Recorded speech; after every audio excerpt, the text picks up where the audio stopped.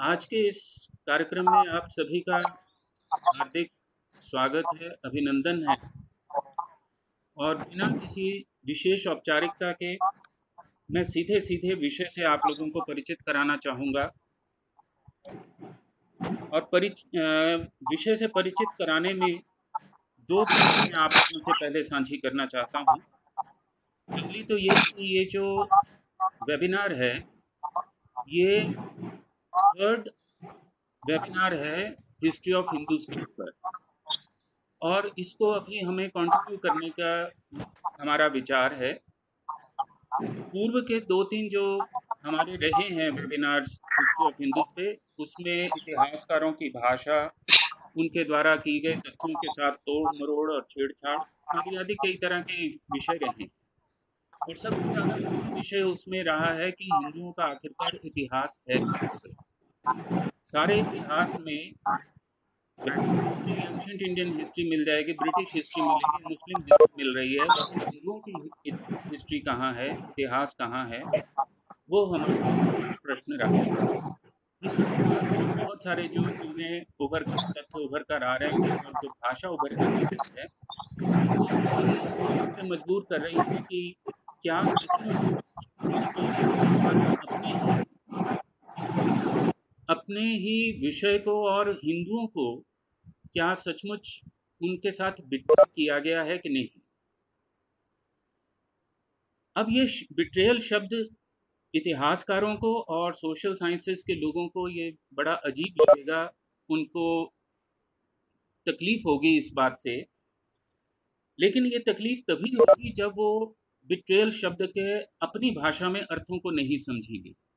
जैसे वो राष्ट्र शब्द का अर्थ गाँव कर देते हैं तो उससे मुझे जिस तरह की तकलीफ़ होती है, वैसे ही तकलीफ़ मैं उनको भी चाहता हूँ कि वो अनुभव करें, लेकिन क्योंकि हिंदी की पृष्ठभूमि, संस्कृत की पृष्ठभूमि, अपनी संस्कृति की पृष्ठभूमि नहीं होती, इसलिए वो बिट्रेल का अर्थ तुरंत जो करेंगे, वो क्या करेंगे? विश्वासघात। लेकिन आप देख सकते हैं विषय में, मैंने कहीं पर भी विश्वासघात शब्द इस्तेमाल नहीं किया। संस्कृत इतनी निम्न कोटि की भाषा नहीं है कि जो इस तरह के शब्दों का, हल्के शब्दों का किसी के लिए प्रयोग करे। आप देखें कि बिट्रेयल के लिए लगभग आपको 21 शेड जो हैं वो मिलते हैं। इनमें से दो शेड मैंने चुने हैं जो इतिहासकारों के संदर्भ में मैं विशेष रूप से प्रयोग करना चाहता हूँ, जो आपको बिट्रेल के उस पक्ष से परिचित कराएँगे। भिन्न मंत्रता का मतलब क्या है कि जो उपलब्ध तथ्य हैं, उनको आप किस तरह से मिस इंटरप्रेट कर देते हैं? कि जो एस्टेब्लिश्ड फैक्ट्स हैं, उनको अपनी ही तरह से एक नया मोड़ आप दे देते हैं और आप ये चिंता नहीं करते कि वहाँ की संस्कृति के पक्ष क्या रहे हैं, आपके दर्शन के पक्ष क्या रहे हैं, आपके व्यवहार के पक्ष क्या रहे हैं, इतने पुराने इतिहास के। वो है भिन्न मंत्रता। और दूसरा जो बिट्रेल का मैंने यहाँ पर अर्थ रखा है आप लोगों के साथ, और ये हिस्टोरियंस को और सोशल साइंटिस्ट को जानना चाहिए, कि प्रतिज्ञापितता का अर्थ क्या है कि जो सिद्ध है, उसको भी सिद्ध करवाने का प्रयास करते हैं। सबसे बड़ा उदाहरण तो जैसे राम का ही है, कि राम को ले जाकर के हम कोर्ट में खड़ा कर देंगे कि भाई राम थे कि नहीं थे, इस पे बहस करवा रहे हैं।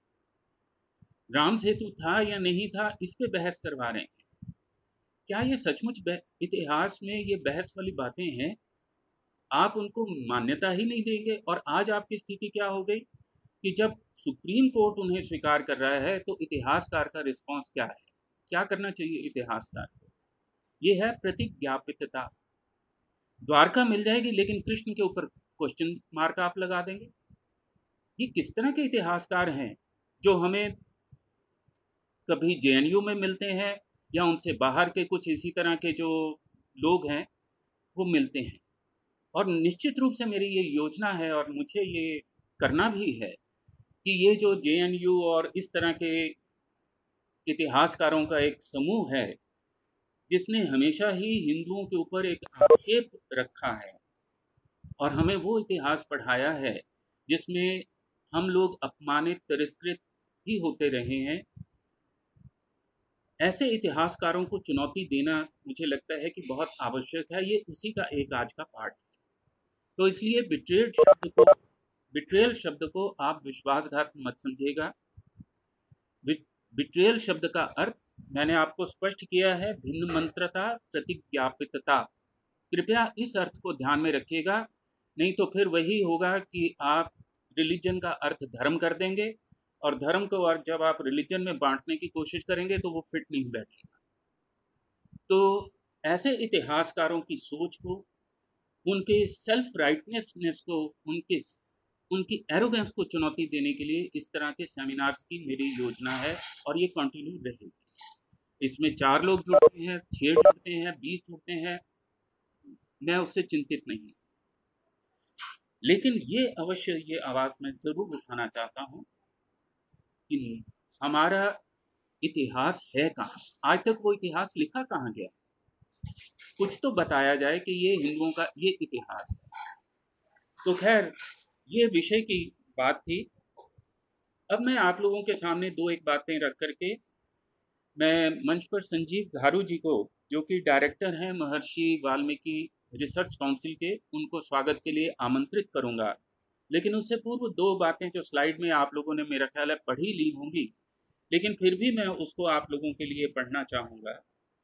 हिस्टोरियन को एज ए संस्कृतिस्ट मैं तीन रूपों में देखता हूँ। एक तो वो कि एज ए डूअर कि वो कर्ता के रूप में कर क्या रहे हैं। दूसरा इंजॉयर जब मैं देखता हूँ ऐसे लोगों को हिस्टोरियंस को और अच्छे बड़े प्रतिष्ठित हिस्टोरियंस को कि वो किस तरह से अपनी पावर को, अपने सीट को इंजॉय करते हैं। क्योंकि ऐसे ही एक सेमिनार में जब नेशनलिज्म के सेमिनार हो रहा था तो संस्कृत के जब मंत्रों को उनके सामने, राष्ट्र के मंत्रों को सामने रखा गया, राष्ट्र की अवधारणा को रखा गया तो उन्होंने अपना वेट जिसे अंग्रेज़ी में कहते हैं to put your weight around उस स्थिति का उपयोग करते हुए उन्होंने कहा, अरे, राष्ट्र कुछ नहीं होता, वो गाँव होते थे। बहुत बढ़िया।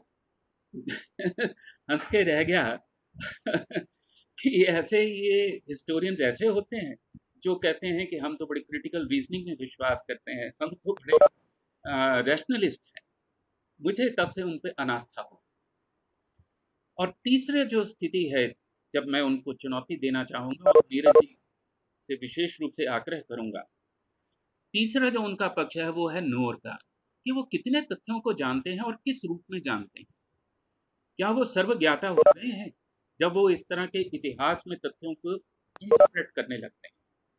तो मुझे लगता है कि ये तीन पक्ष हमें ध्यान में रख करके इस सेमिनार को आगे बढ़ाना है। लेकिन दो कोटेशन पढ़ करके मैं संजीव जी को मंच पर आमंत्रित कर रहा हूँ। के एम मुंशी जी कन्हैया लाल माणिक मुंशी जो हैं, पेशे से वकील रहे हैं, लेकिन बहुत बेहतरीन इतिहासकार रहे हैं, बहुत कम लोगों को पता होगा। उन्होंने ऐतिहासिक उपन्यास लगभग पैंतीस के करीब लिखे हैं। अगर आप उनको पढ़ें तो आपको पता लगेगा कि इतिहास वस्तुतः लिखा कैसे जाना चाहिए।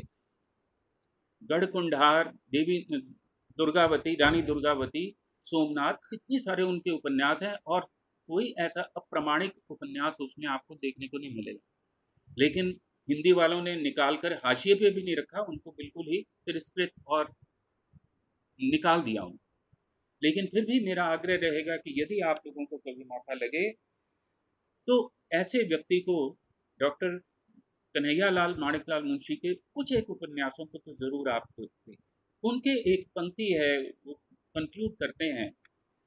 क्या कहते हैं? In conclusion I would like to say that Hindus reference to our own history has been invitation to foreigners to write our history ये उनकी पीड़ा है, ये तकलीफ़ है। और यही इनडिफरेंस जो है, इस इनडिफरेंस को हटाने के लिए ये वेबिनार्स ये सेमिनार्स करने की हमें आवश्यकता है। दूसरी एक बात मैं कोटेशन और आप लोगों के साथ शेयर करना चाहता हूँ।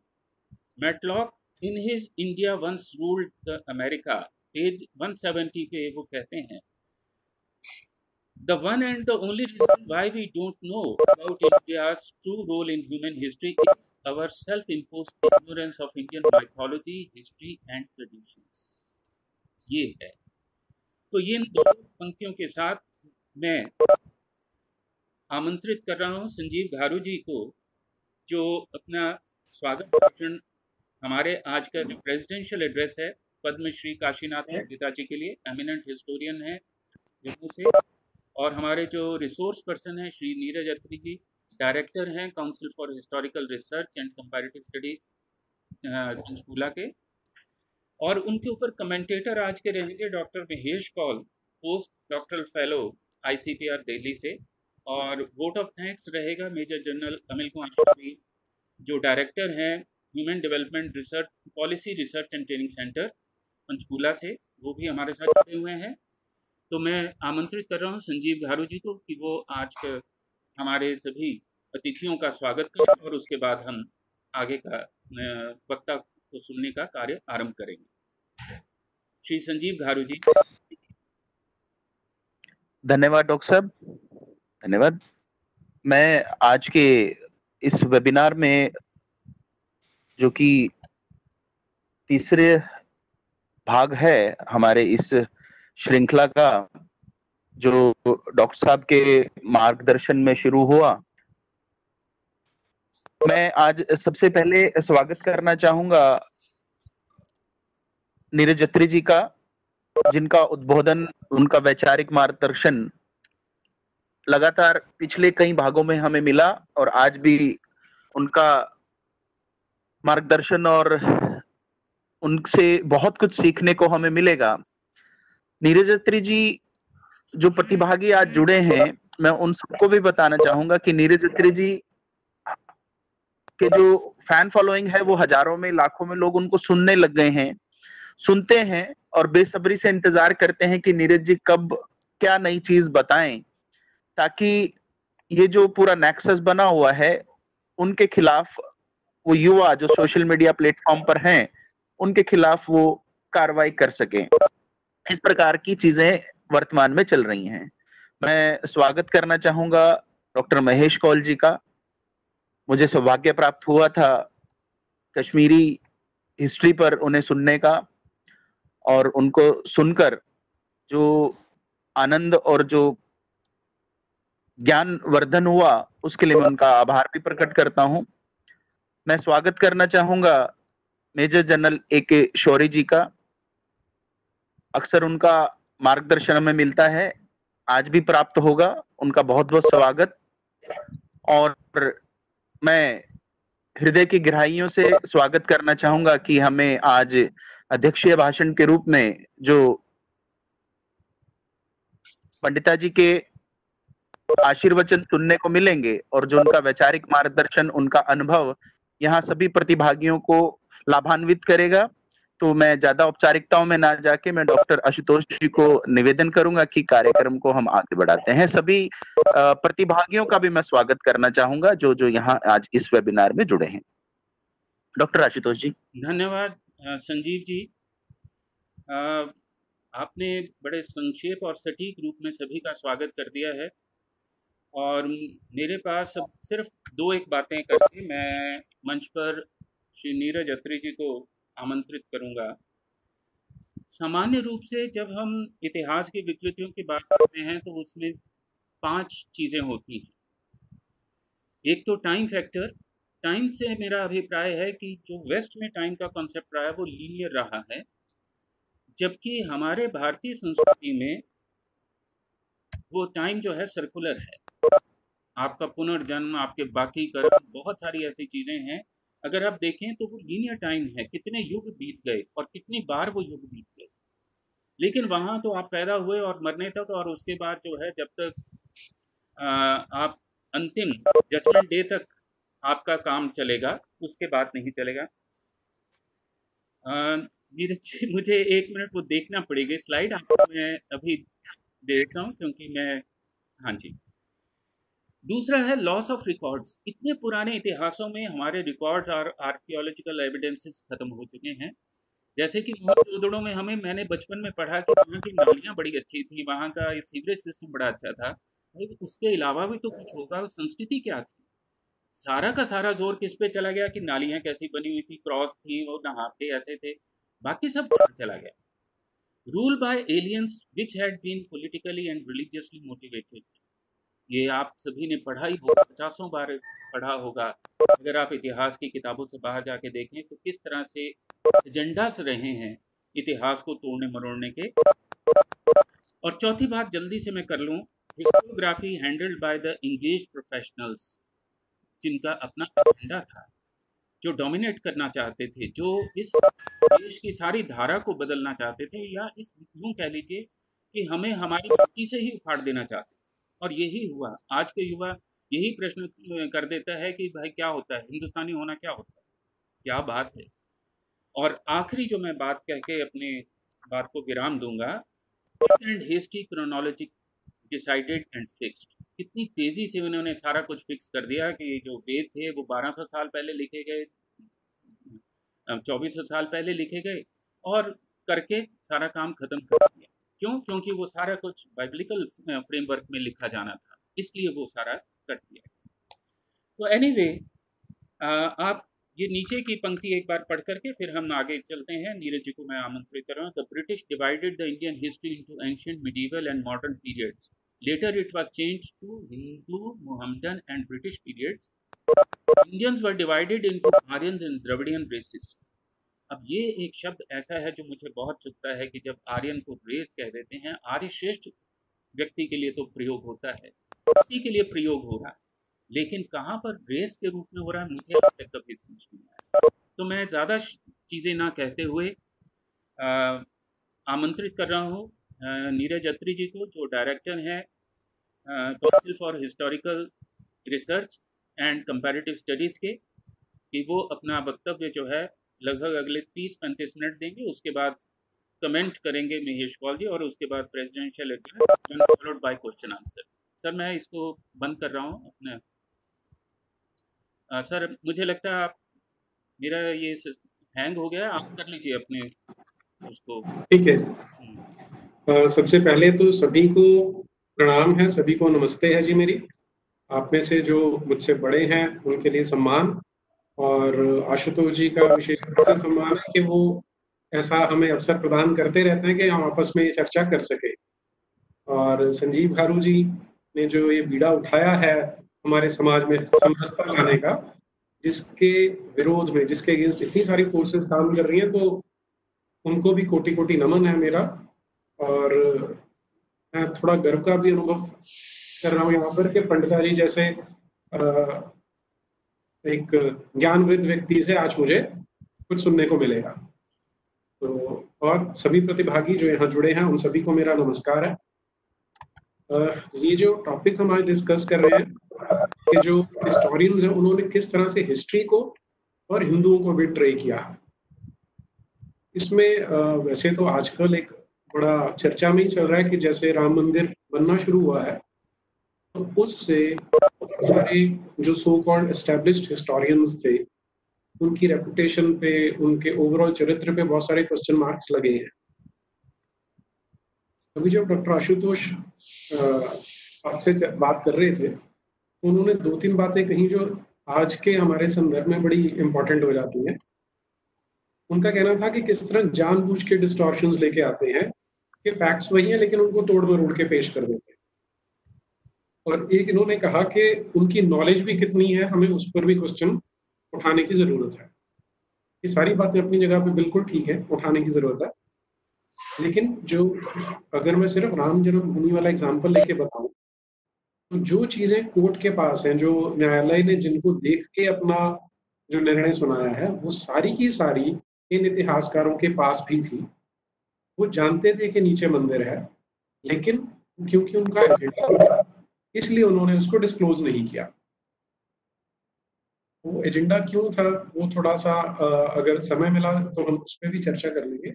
लेकिन मैं चाहूँगा ये कि मैं पहले अपना विषय खत्म करके थोड़ा जल्दी ट्राई करूँगा और फिर क्वेश्चन आंसर हो जाएँगे तो उसमें कई चीज़ें और ज़्यादा क्लियर हो जाती है। तो मैं आज सिर्फ़ एक एग्ज़ाम्पल आपके साथ शेयर करना चाहता हूँ।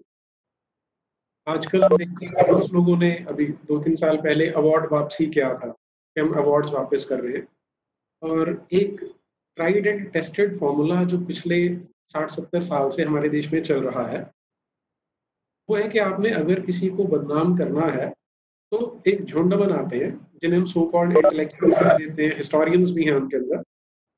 वो एक इस तरह की आवाज़ उठाते हैं कि जो बताया जा रहा है, वो क्योंकि हमारे अकॉर्डिंग नहीं है, इसलिए वो गलत है। और ये आज नहीं हो रहा है पहले से। तो ऐसा एक एग्ज़ाम्पल मैं ले रहा हूँ, जो आज से लगभग साल पुराना है। 1984 1985 में जब Archaeological Survey of India Qutub Minar के आसपास कुछ खुदाई कर रहा था तो लोगों को जो उनके वर्कर थे लेबर काम कर रहे थे, एक दीवार का थोड़ा सा हिस्सा गिरा तो उसमें देखने को मिला कि हिंदू देवी देवताओं की मूर्तियाँ हैं, इन्हें उल्टा करके कुतुब मीनार से जोड़ के बनाया गया है। तो अब 84 और 85 में आज जैसा इंटरनेट नहीं था, कुछ भी नहीं होता था। और जो सोर्सेज ऑफ़ इंफॉर्मेशन थे, उन पे बड़ा स्ट्रॉन्ग होल्ड होता था सत्ता का। अब सत्ता से हम कभी कभी ये सोच लेते हैं कि सिर्फ़ सरकार सत्ता में, जो सरकार के चाटुकार हैं, जो सरकार का पूरा इकोसिस्टम है, वो सत्ता होती है।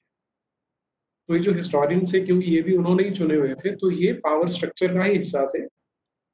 और इन्हों आज जैसे माहौल की तो उन्हें उम्मीद ही नहीं थी और उस समय कोई आवाज़ उठा नहीं सकता लेकिन चांस ये हुआ कि अरुण शोरी जैसे एडिटर थे उन दिनों में, जिन्होंने हिम्मत की कि हम जो समाज में डिस्कोर्स चल रहा है, उसके अगेंस्ट भी हम जा सकते हैं, जो कि एक जर्नलिस्ट को करना ही चाहिए।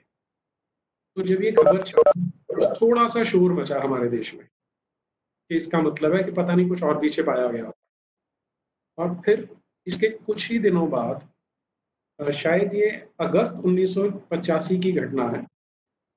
मथुरा में कुछ लोगों ने मिलकर एक समिति बनाई कि जो कृष्ण जन्मभूमि है, जिसे हम डेरा केशवराव मंदिर बोलते हैं, जिस पे आज मस्जिद बनी हुई है, कि हमने उसको भी छुड़वाना है तो उसके लिए एक समिति बनाई गई। ये राम जो बाबरी ढांचा गिरने से पहले की बात बता तो ये भी समाचार पत्र में छप गया कि इस तरह से लोगों ने समिति बनाई। तो अब लेटर टू एडिटर उन दिनों सिर्फ़ लेटर टू एडिटर ही होता था जो आम किसी व्यक्ति के हाथ में पावर होती थी। तो लेटर टू एडिटर कुछ लोगों ने लिखे और इंडियन एक्सप्रेस को टाइम्स ऑफ़ इंडिया को धन्यवाद देना शुरू किया कि कम से कम किसी ने बात बोलनी तो शुरू की है। तो अब ये आवाज़ दबाना ज़रूरी था। तो मेथड वही यूज़ किया गया जो आज यूज़ किया जाता है। कुछ एमिनेंट हिस्टोरियंस थे। जिन्होंने 12 लोगों के नाम थे, जिन्होंने मिलकर एक चिट्ठी लिखी टाइम्स ऑफ़ इंडिया को, कि आप ये जो कर रहे हैं, वो गलत कर रहे हैं। इन 12 में से प्रमुख थे रोमिला थापर और बिपिन चंद्रा, जो बहुत बड़े बड़े नाम हैं हिस्ट्री के फ़ील्ड में हमारे देश में।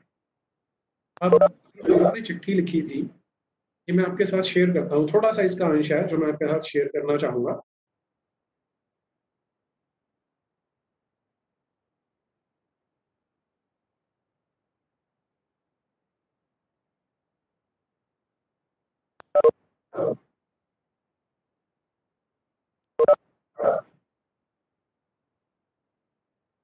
ये है जी। अब इसमें आप देखिए कि उनकी जो लेटर है, उसके मैंने कुछ कुछ अंश लिए हैं सिर्फ़ इसमें। तो उन्होंने क्या कहा? कि Dera Keshav Rai temple was built by Raja Bir Singh Dev Bundela during Jahangir reign ये उन्नीस की लेटर है 2 अक्टूबर उन्नीस की जो टाइम्स ऑफ़ इंडिया को लिखी थी रोमिला थापर के अलावा 11 लोग और थे। और ये जब भी ऐसा झुंड बनाया जाता है तो उसमें दो चार लोग ही प्रमुख होते हैं, बाकी भेड़ बकरियों को साथ में जोड़ के वो संख्या बढ़ा ली जाती तो अब ये जो एक सेंटेंस है, इसमें वो ये जो मैसेज देना चाह रहे हैं कि बनाया तो ने था, लेकिन जहांगीर के राज में बना था, ताकि एक आम आदमी के माइंड में जो मैसेज जाना चाहिए, वो ये है कि जो मुसलमान थे, जो मुगल रूलर थे, वो अच्छे थे और उन्होंने इसको बदल दिया। अब अगर हम इस एक सेंटेंस को एनालाइज करते हैं तो इतना तो बिल्कुल ठीक है कि राजा वीर सिंह बुंदेला ने बनाया था। लेकिन सवाल ये उठता था कि उसने उसी जगह पर क्यों वो मंदिर बनाया था?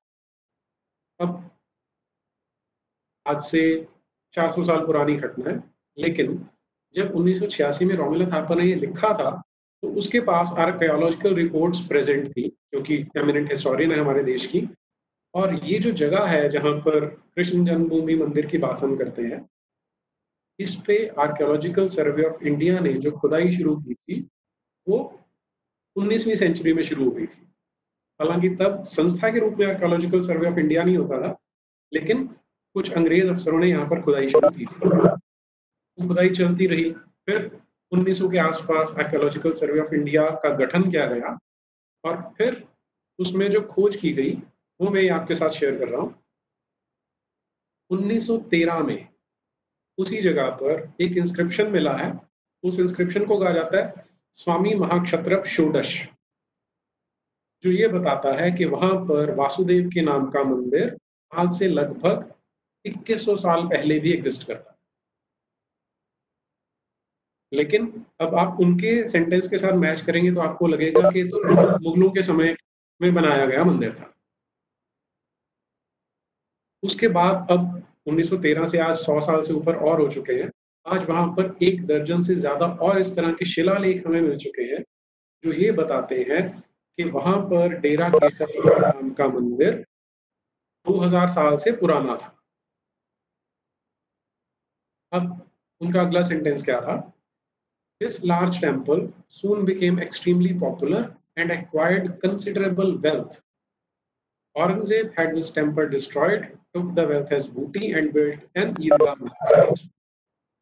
पर हमें समझने की ज़रूरत क्या है कि पहला काम जो ये करते हैं, वो ये होता है कि अब मंदिर तोड़ा गया, उसको तो डिनाई नहीं कर सकते। फिर उसके ऊपर इंफॉर्मेशन को फ़िल्टर कैसे किया जाता है? तो पहला फ़िल्टर ये होता है कि आप ये दिखाएँ कि जो ये तोड़फोड़ की गई थी, जो इतना नीच काम किया जाता था मंदिर और मूर्तियाँ तोड़ने का, इसका मज़हब से कोई लिंक नहीं था। ये तो पैसा लूटने का काम था कि राजा पैसा लूटा करते थे, डकैत होते थे। इसलिए उसने भी वहाँ पर, क्योंकि ये मंदिर बहुत पॉपुलर हो गया, इसमें बहुत सारा पैसा आ गया, इसलिए औरंगज़ेब ने इसको तोड़ के इस पे ईदगाह बना दी। अब इस पे हमारा क्वेश्चन जो होना चाहिए कि औरंगज़ेब ने एक फरमान जारी किया था 9 अप्रैल सोलह को 1669 में। और ये उसी की अपनी अखबारों में हमें मिलता है, जिसमें उसने अपने जितने सूबेदार थे, सबको कहा था कि तुम लोगों ने काफिरों के जो सारे तोड़ देने मंदिर, सिर्फ़ मंदिर नहीं जितनी वेदशालाएँ थी, जो पाठशालाएँ थी, वो सब तो अब सवाल ये उठता है कि जब उसने सारों को तोड़ने को बोल दिया, जिसमें वो भी थे जिनके पास कोई पैसा नहीं है तो फिर आप यहाँ पर का एंगल क्यों लेके आते हो? क्योंकि ये उनका एक ट्राइड एंड टेस्टेड फॉर्मूला है कि आप ये शो करें कि मज़हब का इसमें कोई रोल नहीं था, ये सिर्फ़ पैसे की लूट थी। अब सोलह में फरमान जारी किया जाता है और उसी के साथ ही देश भर में मंदिर शुरू हो जाते हैं।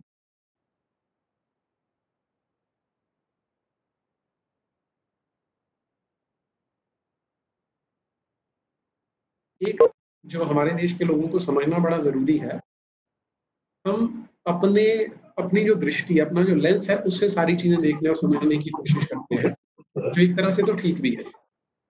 लेकिन जब आप इस्लाम और क्रिश्चियनिटी को समझ तो आपको उनके लेंस से समझना पड़ेगा। अब हमें ये बताया जाता है कि रमज़ान का महीना बड़ा पवित्र होता है, क्योंकि इसमें वो रोज़े रखते हैं, भूखे रहते हैं। तो हमारे माइंड में भी ऐसा आता है कि जिस तरह हमारे यहाँ पर स्वच्छता रखी जाती है, शुचिता रखी जाती है, इसी तरह का वो लोग भी करते हैं। तो आपको ये जानना चाहिए कि ये जो मंदिर तोड़ा गया था, ये रमज़ान के महीने में ही तोड़ा गया था, क्योंकि उनके लिए मंदिरों को तोड़ना भी एक बड़ा सवाब का काम माना जाता और इसके अलावा सिर्फ़ ये एक मंदिर नहीं था, सोलह में वो फरमान जारी करता है और अगले 36 साल तक, यानी 1705 तक लगातार पूरे देश में जहाँ जहाँ पर औरंगज़ेब का राज है वहाँ वहाँ पर जहाँ हो सका इन्होंने मंदिर तोड़े हैं। तो वेल्थ वाला एंगल इसमें ये जानबूझ के डालते हैं ताकि लोगों को भ्रमित किया जा सके, उन्हें मूर्ख बनाया जा सके। अगला काम क्या करते हैं जी? अगला जो फ़िल्टर लगाया जाता है वो है पॉलिटिक्स का। उन्होंने चिट्ठी में क्या लिखा? His actions might have been politically motivated यहाँ ध्यान दीजिए माइट हैव बीन फिर पॉलिटिकली मोटिवेटेड एज वेल फिर उसका कारण क्या बताते हैं? For at that time when the temple was destroyed faced problems with bundelas as well as jat rebellions in the Mathura region अब इसमें आपको हमारे लिए क्या चीज़ ज़रूरी है? कि जब ये जो राजा की कंसेप्ट है वो तो हमारे देश की और अब्राहमिक रिलीजन्स की इस्लाम और क्रिश्चियनिटी की बिल्कुल अलग है। क्योंकि हम मुगलों की बात करें तो मैं सिर्फ़ उसी, उसी तक इसको सीमित रखता हूँ। ये जब इन्होंने सत्ता पे कब्जा किया था तो उसमें इनका कोई ये पर्पज नहीं होता था कि हमने प्रजा का भला करना है। हमारे एक कॉन्सेप्ट है सूर्यवंशी और चंद्रवंशी राजाओं की। इसका अर्थ ये है कि जिस तरह से सूरज जो है, वो अपनी ऊर्जा देता है लोगों को, ताकि जीवन को पल्लवित किया जा सके, पुष्पित किया जा सके, विकसित किया जा सके। इसी प्रकार से राजा का ये धर्म बनता है। जो राज धर्म है, उसमें ये कहा जाता है कि प्रजा तुम्हारे बच्चों के जैसी है, और तुमने बच्चों की तरह इनका ध्यान रखना है, उनका पालन पोषण करना लेकिन ये लोग जब आए थे तो इन्होंने कब्जा किया हुआ था। इसलिए पूरे देश भर में इनके विरोध में बगावत होती रहती और दूसरे जो मुसलमान राजा थे वो इनको हराकर काबिज होना चाहते थे तो बहुत सारे मुसलमान थे जो इसकी बगावत करते थे, लेकिन आपको एक भी मस्जिद तोड़े जाने का कहीं पर सबूत नहीं मिलता। औरंगज़ेब के शासनकाल में कोई मस्जिद तोड़ी गई हो। हालाँकि बहुत सारी मस्जिदें बहुत ज़्यादा रिच थी, उनके पास बहुत सारा पैसा, लेकिन वो आपको कहीं नहीं मिलता इसमें देखने को। फिर तो ये रेबेलियंस जो बागियों का नाम ले रहे हैं, एक बात करें बुंदेलों की। जो बुंदेले थे, उन्होंने रेबेलियन किया था, लेकिन अब जिन लोगों को हिस्ट्री नहीं पता है, वो इतनी बात से स्पेशली हिंदूज बैकफुट पे आ जाते हैं कि अच्छा भाई, जो बुंदेले थे, वो उनके साथ बगावत कर रहे होंगे तो राजा था, उसने मंदिर तोड़ दिया। बुंदेलों की जो बगावत थी, वैसे तो लगातार चलती रही, बहुत संघर्ष किया बुंदेलों ने मुगलों के साथ। 1635 में जो इनकी मेजर बगावत थी, राजा थे जुझार सिंह, ओरछा, मध्य प्रदेश के अंदर जो एरिया है वहाँ पर। मध्य प्रदेश, उत्तर प्रदेश काफ़ी बड़ा एरिया था जहाँ पर बुंदेलों ने बगावत की हुई थी। 1635 में शाहजहां ने इस राजा को मार दिया था और जो उनकी महिलाएँ थी, उनको अपने हरम में ले आए थे। इसमें एक ना हमारे समाज पे एक लेबल लगाया जाता है कि तो सती प्रथा वाले थे, अपनी महिलाओं को जलाया करते यहाँ आपको बताना बड़ा ज़रूरी है कि जब हम जौहर की बात करते हैं, सती प्रथा के लिए तो आज, क्योंकि समय कम है तो आज मैं उसकी चर्चा नहीं कर रहा। जो जौहर किया जाता था, उन्हें पता था दो चीज़ें। पहली चीज़ ये कि ये जो हिंदू क्षत्रिय लड़ते थे, उन जैसे इनके पास कोड ऑफ़ एथिक्स नहीं थे, युद्ध के नियम नहीं थे कि महिलाओं को, बच्चों को हाथ नहीं लगाया जाएगा। ये महिलाओं को उठाकर उनके बलात्कार भी करते थे, आज भी करते हैं, और फिर उनको गुलाम मंडियों में ले जाके बेच देते थे। इसलिए जौहर प्रथा शुरू हुई। और दूसरा जिसे नेक्रोफीलिया कहा जाता है, कि इन लोगों को ये भी परमिशन है कि लाश के साथ भी दुष्कर्म कर सकते हैं और करते थे इसलिए आप देखेंगे कि जो जौहर किया जा रहा है, वो अपने आप को जला के किया जा रहा है कि लाश भी ना बचे, कि उनका शव भी जो है उसको क्षत विक्षत ना किया जा सके। इसलिए महिलाएँ, अब मरने के तो बहुत सारे तरीके हैं। जलने वाला ज़्यादा पेनफुल है, लेकिन ये महिलाएँ जानबूझ के उसे चुनती थी। क्योंकि उनको अपनी अस्मिता, उनको अपना जो सम्मान था, वो ज़्यादा प्यारा होता लेकिन इस केस में, जुझार सिंह वाले केस में यहाँ तक मुझे ध्यान है कि राजा वृद्ध हो चुके थे, वो अपनी पत्नियों को लेके, उन्होंने सोचा कि यहाँ से बच के निकल जाए। लेकिन बच के निकल नहीं पाए, उनको घेर लिया गया। तो ये जो महिलाएँ थी, अब जब जौहर किया जाता था, उसके लिए भी बहुत सारा इलेबोरेट रिचुअल्स होते थे कि महिलाएँ अपने पंजों के निशान वहाँ लगाती थी। कलाई का निशान छोड़ती थी और फिर जौहर करती थी। तो इन महिलाओं को बेचारी को उतना समय तो मिला नहीं क्योंकि वो रहे थे। तो उन्होंने कोशिश की कि जो इनके पास कटार थी, जो खंजर थी, वो अपने आप को मार ले। कुछ ने मार ली, जख्मी हो गई।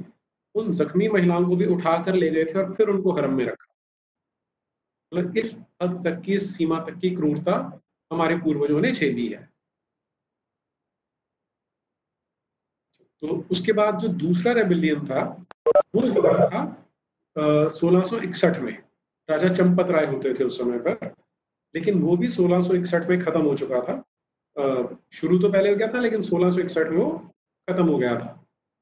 तो वो वाला, अब ये एक क्लासिक केस है, जिसे कहते हैं कि घोड़े को गाड़ी के आगे बांधने के बजाय गाड़ी को घोड़े के आगे बाँध देना। कि जो रेबेलियन खत्म हो चुका था उसके ऊपर इल्ज़ाम लगाया जा रहा है कि क्योंकि वो रेबेलियन था, इसलिए वो मंदिर को तोड़ा गया था। फिर जो दूसरा इन्होंने इशू उठाया कि जाट रेबेलियन कर रहे थे मथुरा में। अब जाट सिर्फ़ मथुरा में नहीं थे, देश जो पूरे का पूरा उत्तर भारत है, मध्य भारत है, इसमें जाटों ने बहुत लड़ाइयाँ की हैं मुसलमानों के साथ। और ये जो जाट रेबेलियन अब शुरू हुआ था वो हुआ ही इसलिए था कि इन्होंने मंदिर तोड़ने का फरमान जारी किया। तो फिर से उल्टा काम कर रहे हैं कि जाटों का जो रेबिलियन है, वो फरमान आने के बाद शुरू हुआ कि तुम हमारे मंदिर कैसे तोड़ सकते हो? तब ये बगावत जाटों ने शुरू की। लेकिन ये हिस्टोरियंस क्योंकि ये ये उस टाइम की बात है ना, जब इंटरनेट नहीं था, मेरे जैसा आदमी भी रिसर्च करके जान नहीं सकता था कि क्या है। तो इनको लगा था कि इनका झूठ चल जाएगा, लेकिन अब चलता नहीं है वो। अगला देखिए, अगला फ़िल्टर क्या है? It should be remembered that many Hindu temples were untouched during Aurangzeb's reign and even some new were built. ये एक और तरीका है आम हिंदुस्तानी को बैक बैकवर्ड पे कि इक्का दुक्का मंदिर बता दो कि ये औरंगज़ेब के टाइम में बने थे। या कहीं पर ये दिखाता है कि देखो ये लैंड ग्रांट दिया गया। हमें समझना ये है कि कभी भी मुगलों की जो रिट चलना बोलते हैं कि उनका जो पूरे का पूरा फरमान एक्सेप्ट नहीं किया जाता था, सब जगह पे हंड्रेड परसेंट तो बहुत सारी ऐसी पॉकेट्स होती थी, बहुत सारी ऐसी जगह होती थी, जहाँ पर इनका रूल चलता ही नहीं था। तो वहाँ पर अगर मंदिर बन भी जाते हैं तो औरंगज़ेब की विशेषता नहीं है, वो हमारे पूर्वजों की विशेषता थी कि जो कन्वर्ट नहीं हुए, इनसे लगातार लड़ते रहे और औरंगज़ेब के होते हुए भी उन्होंने मंदिर बनाए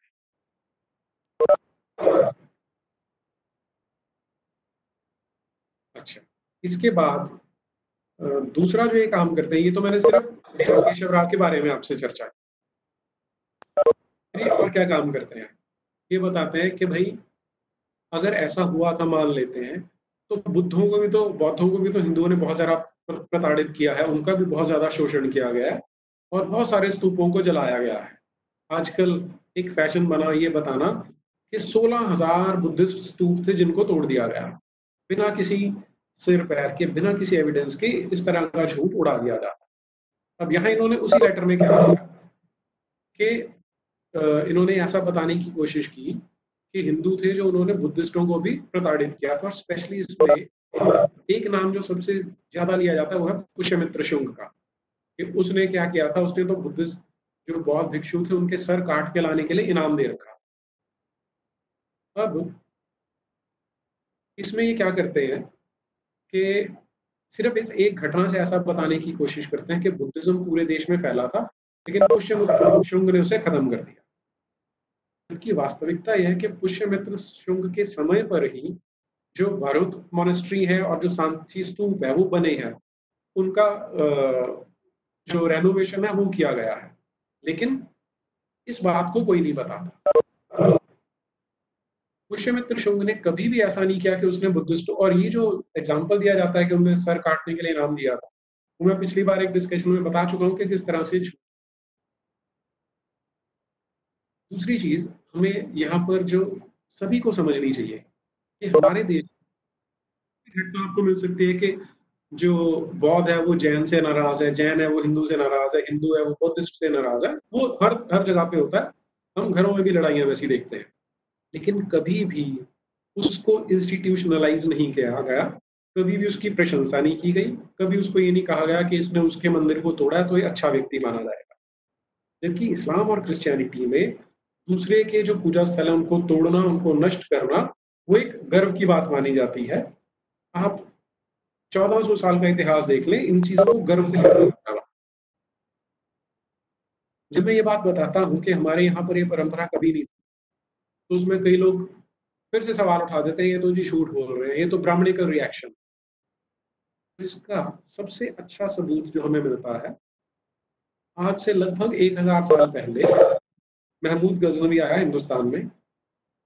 मंदिर तोड़े बौद्धिस्ट स्तूप तोड़े उसने, हर तरह का विनाश किया। उसके साथ उसका क्रॉनिकलर आता है अलबेरूनी अब वो इस्लाम की दुनिया से चल के आया, जहाँ पर मज़हब के नाम पे तोड़ फोड़ करना, लोगों के मंदिर तोड़ना, मूर्तियाँ तोड़ना, एक कॉमन बात है। और आपको ये ध्यान रखना ये वो टाइम है जब जितना एशिया है मिडल ईस्ट एशिया वो ज़्यादातर बौद्ध मत से ओत प्रोत था। और उन्होंने बुद्धिस्ट मंदिरों को, बुद्धिस्ट जो स्थल थे, उनको तोड़ा था। वो यहाँ आके स्पेशली क्या बता रहा है कि हिंदुस्तान के जो लोग हैं, अगर उनका आपस में कोई भेदभाव है तो उसके बारे में चर्चा करते हैं। वो एक दूसरे को कन्विंस करने की कोशिश करते हैं और तरह तरह के एग्ज़ाम्पल देते हैं। वो इससे बड़ा हैरान हो रहा है कि किस तरह से युक्तियाँ लगा के एक दूसरे को एग्ज़ाम्पल देने की कोशिश कर रहे हैं। और फिर वो बताता है कि इसके लिए वो कभी अपनी जान और माल को खतरे में नहीं डालते, क्योंकि उसने क्या देखा था कि जाते हैं, मंदिर तोड़ देते हैं, जो मुसलमान है। लेकिन ये लोग कभी नहीं ऐसा करते। अब ये अलबेरूनी अपनी किताब में लिख रहा है तो हमें कम से कम ये मानना चाहिए कि ना तो आर्य समाजी था, ना भक्त था ना वो संगी था। और इस तरह के जितने भी लेबल ये आजकल लगाते हैं, ना ही वो ब्राह्मणिकल रिएक्शनरी था। फिर कुछ और एग्ज़ाम्पल है, मैं इनको स्किप कर देता हूँ, क्योंकि मैं मेन इस इशू पे आना चाहता हूँ। अब ये जो सब किया गया है, ये किया गया राज आश्रय से, कि जो दरबारी हिस्टोरियन थे, उन्होंने किया। अब ये दरबारी हिस्टोरियन किसके थे और क्यों किया, कब से शुरू होता है तो उसका एग्ज़ाम्पल मैं आपके साथ शेयर करता हूँ। थोड़ा सा स्किप कर रहा हूँ क्योंकि बड़ी प्रेजेंटेशन है, समय कम है हमारे पास। तैमूर लंग का एग्ज़ाम्पल लेते हैं। तिमरलेन तेरह में हिंदुस्तान में आया था।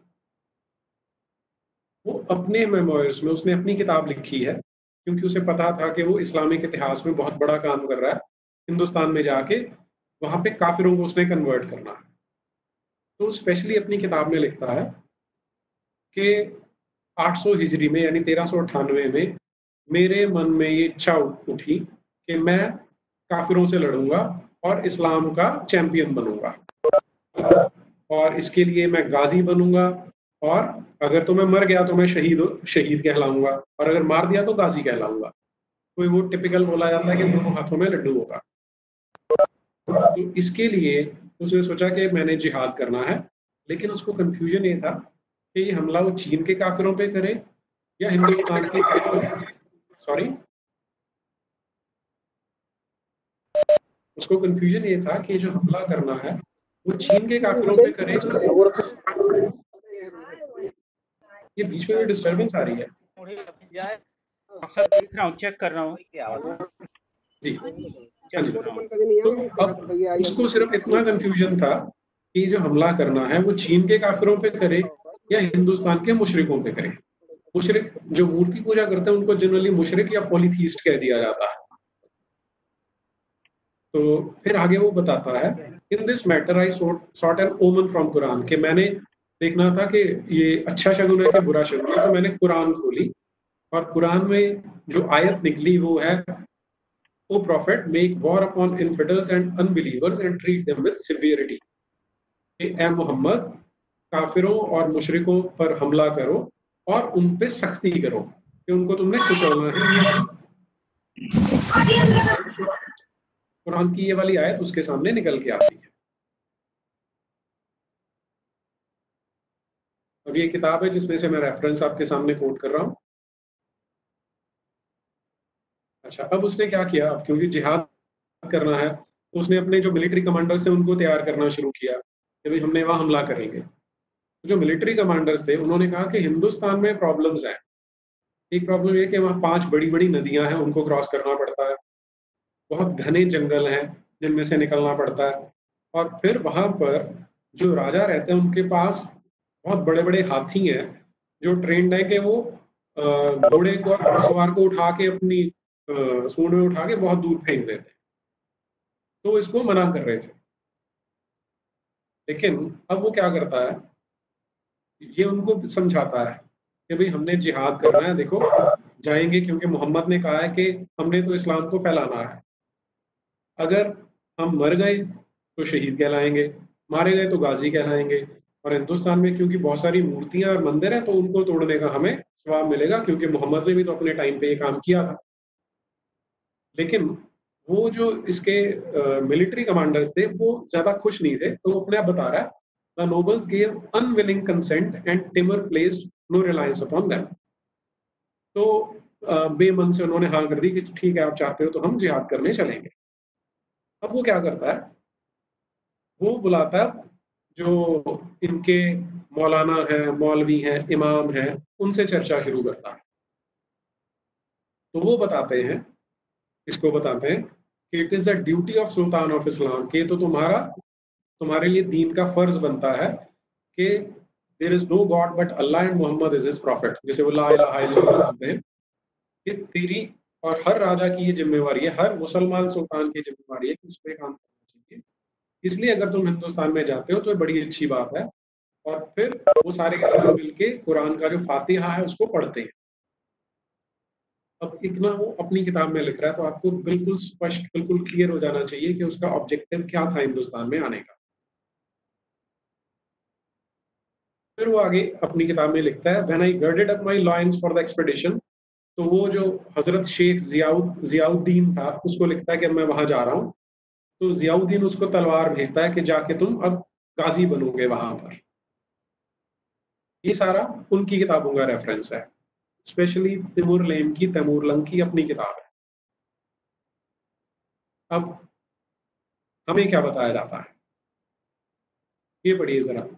The wealth of India attracted this savage पहली लाइन वो ये बता रहा है कि तैमूर को हिंदुस्तान की दौलत अट्रैक्ट कर रही थी।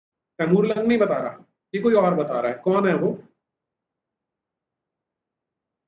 ये हमारे पहले प्रधानमंत्री पंडित जवाहरलाल नेहरू। उनकी किताब है ग्लिम्सेस ऑफ़ वर्ल्ड हिस्ट्री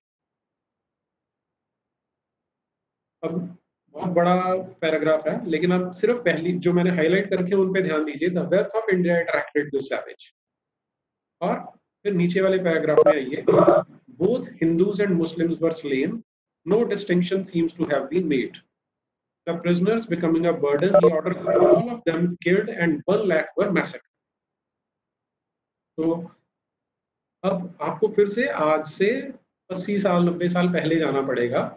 ये पंडित जवाहरलाल नेहरू अंग्रेज़ों की जेल में बैठे हैं, जहाँ पर बैठ के इस तरह की सुंदर सुंदर चिट्ठियाँ बना रहे पहला क्वेश्चन हमारे मन में ये आना चाहिए कि जो अंग्रेज़ भगत सिंह को नहीं छोड़ते, उसको फांसी की सजा देते हैं। वीर सावरकर को नहीं छोड़ते, उसको काले पानी की सजा देते हैं। अशफाक अशफाकुल्ला को मार देते हैं, चंद्रशेखर को मार, आज़ाद को मार देते हैं। वीर उधम सिंह को जीवित नहीं छोड़ते, वो ये पंडित जवाहरलाल नेहरू, अगर ये कोई फ्रीडम फाइटर थे तो इनको जेल में फाइव स्टार फैसिलिटीज़ प्रोवाइड कर रहे थे कि वो यहाँ पर हिस्ट्री की किताब लिख रहे थे। ये मैं आपके साथ इसलिए शेयर कर रहा हूँ कई लोग सोचते हैं कि कब से हमारी हिस्ट्री की डिस्टॉर्शन शुरू हुई तो ये अंग्रेज़ों के संरक्षण में आज़ादी से पहले इसका टेम्पलेट तैयार हो गया था और तब क्योंकि किताबें और अखबारें हुआ करती थी तो उन्हें चाहिए ये था कि कोई ऐसा व्यक्ति हो जिसकी किताब लिखी जाए और उस किताब में झूठी हिस्ट्री लिखवाएँगे। तब कोई इंटरनेट नहीं था कि इसी को एक पहुँची हुई शख्सियत माना जाएगा, हस्ती माना जाएगा और जो लिखता है, उस पर यकीन किया जाएगा। तो ये जो झूठा इतिहास लिखा जा रहा है, जिसे आज हम देख रहे हैं, सत्तर साल बाद भी देख रहे हैं, ये आज़ादी से पहले शुरू हो चुका है।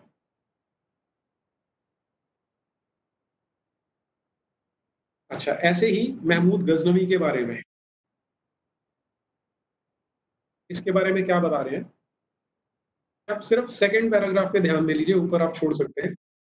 Buildings interested him and he was much impressed by the city of Mathura about this he wrote there are here a thousand edifice as firm as the faith of the faithful nor is it likely that this city has attained its present condition, but at the expense of many millions of dinars. Nor could such another be constructed under a period of 200 years.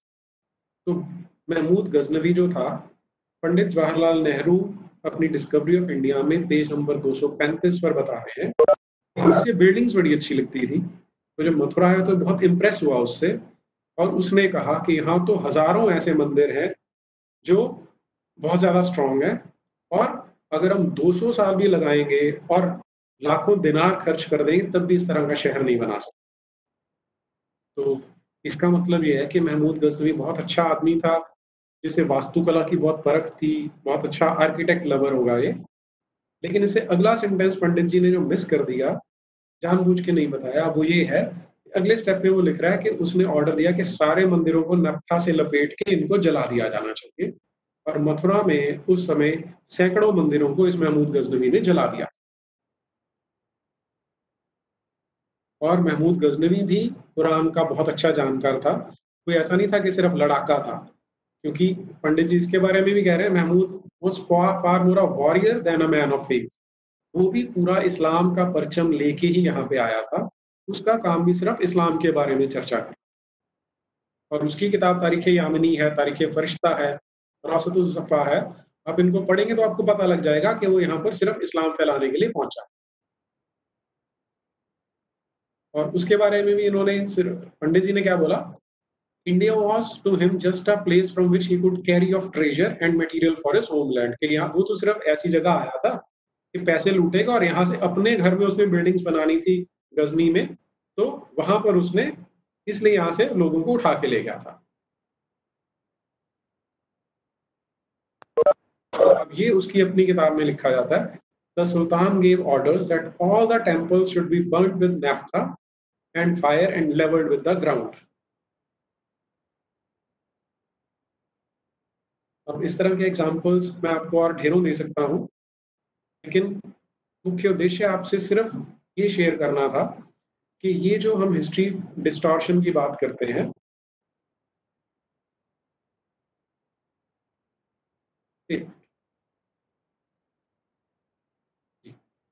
तो ये जो मेरा आपके साथ share करने का उद्देश्य था, वो ये था कि आपको क्लैरिटी हो कि कब से डिस्टॉर्शन शुरू हुई, किसने शुरू की। क्योंकि कई बार क्वेश्चन ये उठाया जाता है कि हम तो आज़ाद हो चुके हैं, फिर भी ऐसा क्यों किया जा रहा है? तो आपको याद ये रखना है, आज़ादी तब मानी जाती है कि लड़के आज़ादी ली अगर 14 अगस्त उन्नीस सौ सैंतालीस को कोई लड़ाई हुई थी और अंग्रेज़ डर के भाग गए थे, फिर तो मान सकते हैं कि 15 अगस्त उन्नीस सौ सैंतालीस को हम आज़ाद हुए लड़के। लेकिन उन्होंने बड़ी अच्छी तरह से प्लान करके इस तरह के लोगों को सत्ता सौंप के गए थे कि वही वाला सिस्टम कॉन्टिन्यूएशन में रहेगा और उसी को उसी तरह से परपेचुएट किया जाएगा। एक और जो गलती हम लोग करते हैं, हमारा माइंडसेट ऐसा है कि इसके पीछे कोई वोट बैंक पॉलिटिक्स है। ऐसा एक परसेंट भी नहीं है वोट बैंक का इसमें कुछ लेना देना नहीं है। ये एक सिविलाइजेशनल वॉर है, वो जिसे हम बोलते हैं कि संस्कृतियों का टकराव है। क्लैश ऑफ़ सिविलाइजेशन है। फ़र्क सिर्फ़ यह है कि यहाँ पे सिविलाइजेशन सिर्फ़ हमारे पास है। संस्कृति सिर्फ़ हमारे पास थी। जो आके टकरा रहे हैं वो तो राक्षस हैं, उनके पास कोई संस्कृति नहीं थी। तो इस सिविलाइजेशनल वॉर में हमारी संस्कृति सभ्यता को खत्म करना उद्देश्य है। इसलिए ये किया जा रहा है, तब से किया जा रहा है और कभी अगर आप डिपार्टमेंट ऑफ़ हिस्ट्री देखेंगे, किसके कंट्रोल में था तो सोशियोलॉजी का डिपार्टमेंट जो था 20 साल तक एच एस खान के कब्जे में था।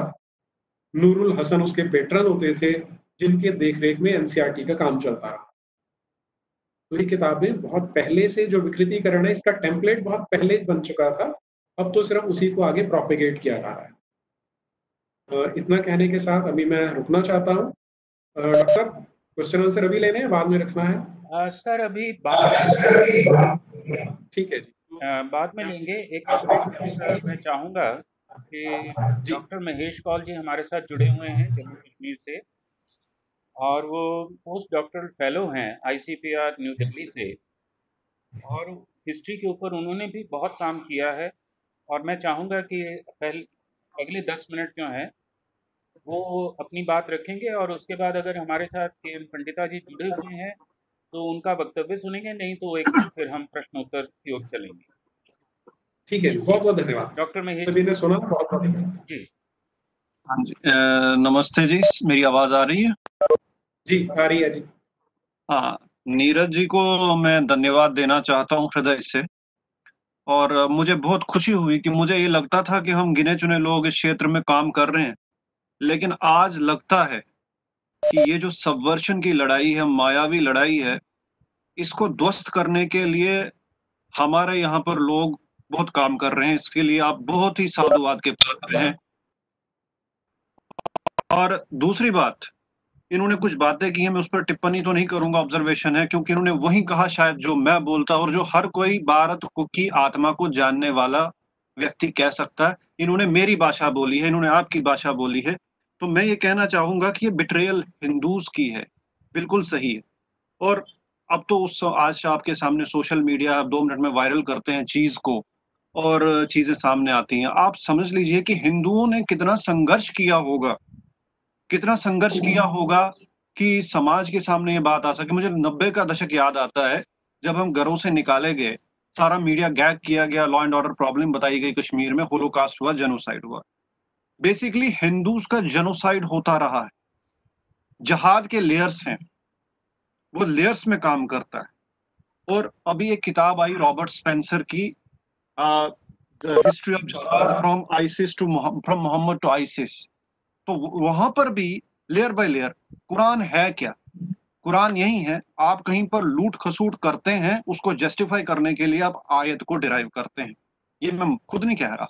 आप वो आपकी आयत बन जाती जैसे अनवर शेख थे, उनके बारे में आपने सुना होगा, उन्होंने लिखा, इस्लाम इज़ अरब इंपीरियलिज्म करके word by word verse by verse उन्होंने डिकोड किया कि इस्लाम कैसे जहाद करता है।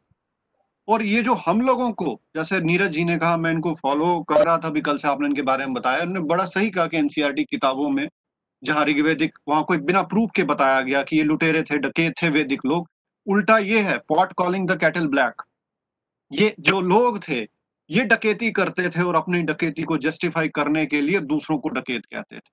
तो दूसरा, दूसरी बात ये है, औरंगज़ेब के बारे में, जैसे रोमिला थापर की इन्होंने बात की, बिल्कुल सही, जब हम भी छोटे थे तो हम भी लेटर टू एडिटर ही लिखते थे स्टेट्समैन में या टाइम्स ऑफ़ इंडिया में तो उस समय यही नोट ऑफ़ डिसेंट होता था। उसके बाद उन्होंने बहुत अच्छा यूज़ किया कि बकरियों का झुंड इकट्ठा करते हैं, बिल्कुल सही है। ये बेड़िए हैं और ये झुंड में काम करते हैं और उसमें इन्होंने क्या करते थे कि लेटर टू रोम फ़िल्टर बनाया, बिल्कुल सही कहा आपने। ये फ़िल्टर क्या बनाते थे? ये सबवर्सिव फ़िल्टर बनाते थे, उसको इन्वर्ट करते थे।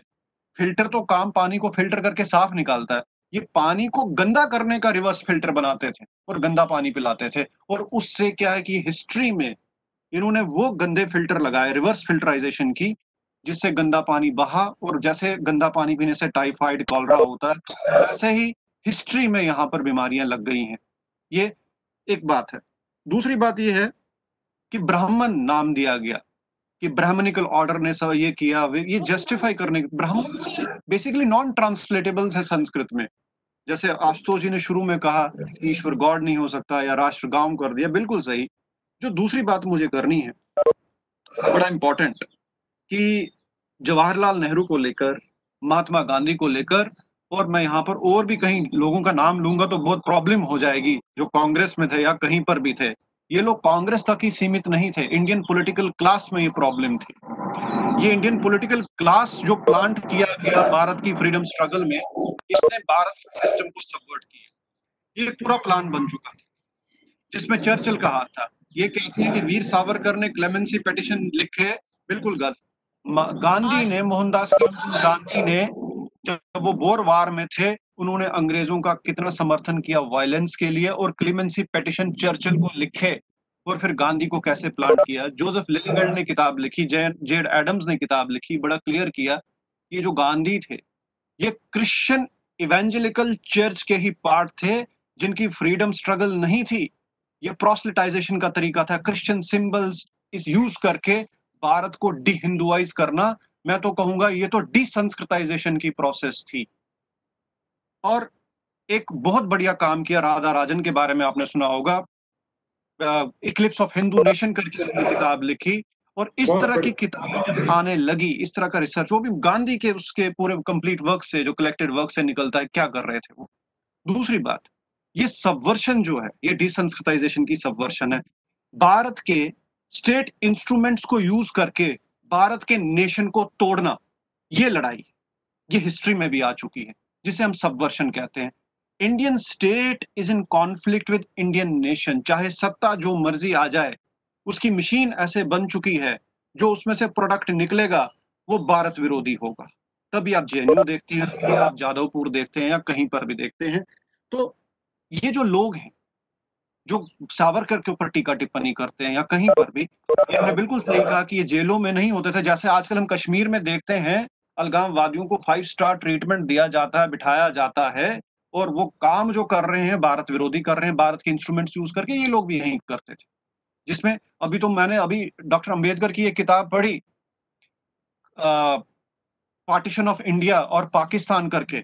अगर आप वो किताब पढ़ेंगे, आप अंबेडकर पर ही प्रश्न चिन्ह लगाए कि ये क्या बोल रहे हैं?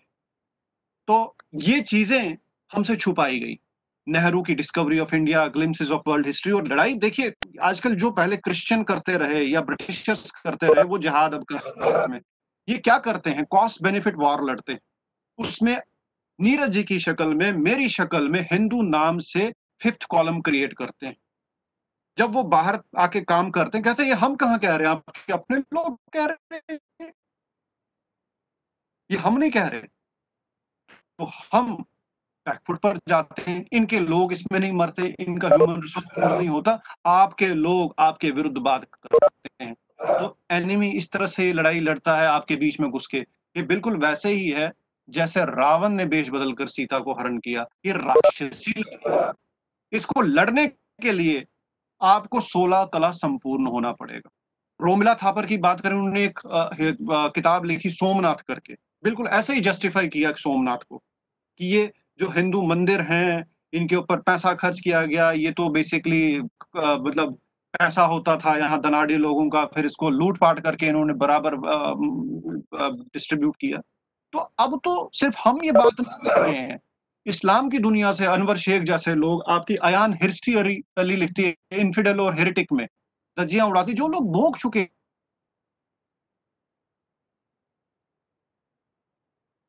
एक्सपोजर किया तो मेरे कहने का मतलब है हिस्ट्री में दो चार बातों का ध्यान रखना है। सबसे पहले कि ये जो एक कॉकस था, एक जो कातल था, ये सबवर्ट करता है अपने सिस्टम को सिस्टम को यूज़ करके। आपके सिस्टम को ही एंटीबॉडी बनाता है। और वो आपकी बॉडी को खा जाता है टर्माइट की तरह कैंसर की तरह।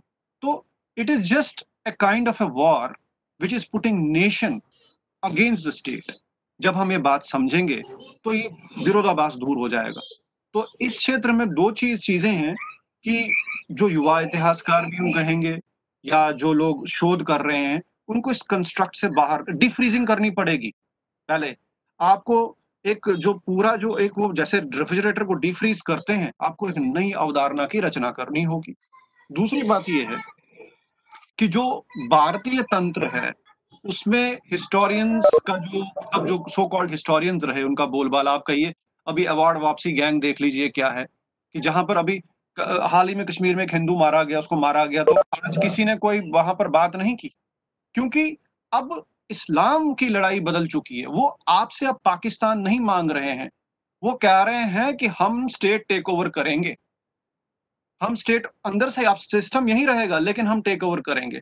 तभी लेफ़्ट राइट और सेंटर में हमें लगता है कि एक पॉलिटिकल कॉन्सेंसस है, जहाँ पर कम्युनलिज्म मुस्लिम कम्युनलिज्म और सेक्युलरिज्म का लबादा पहनाया जाता है।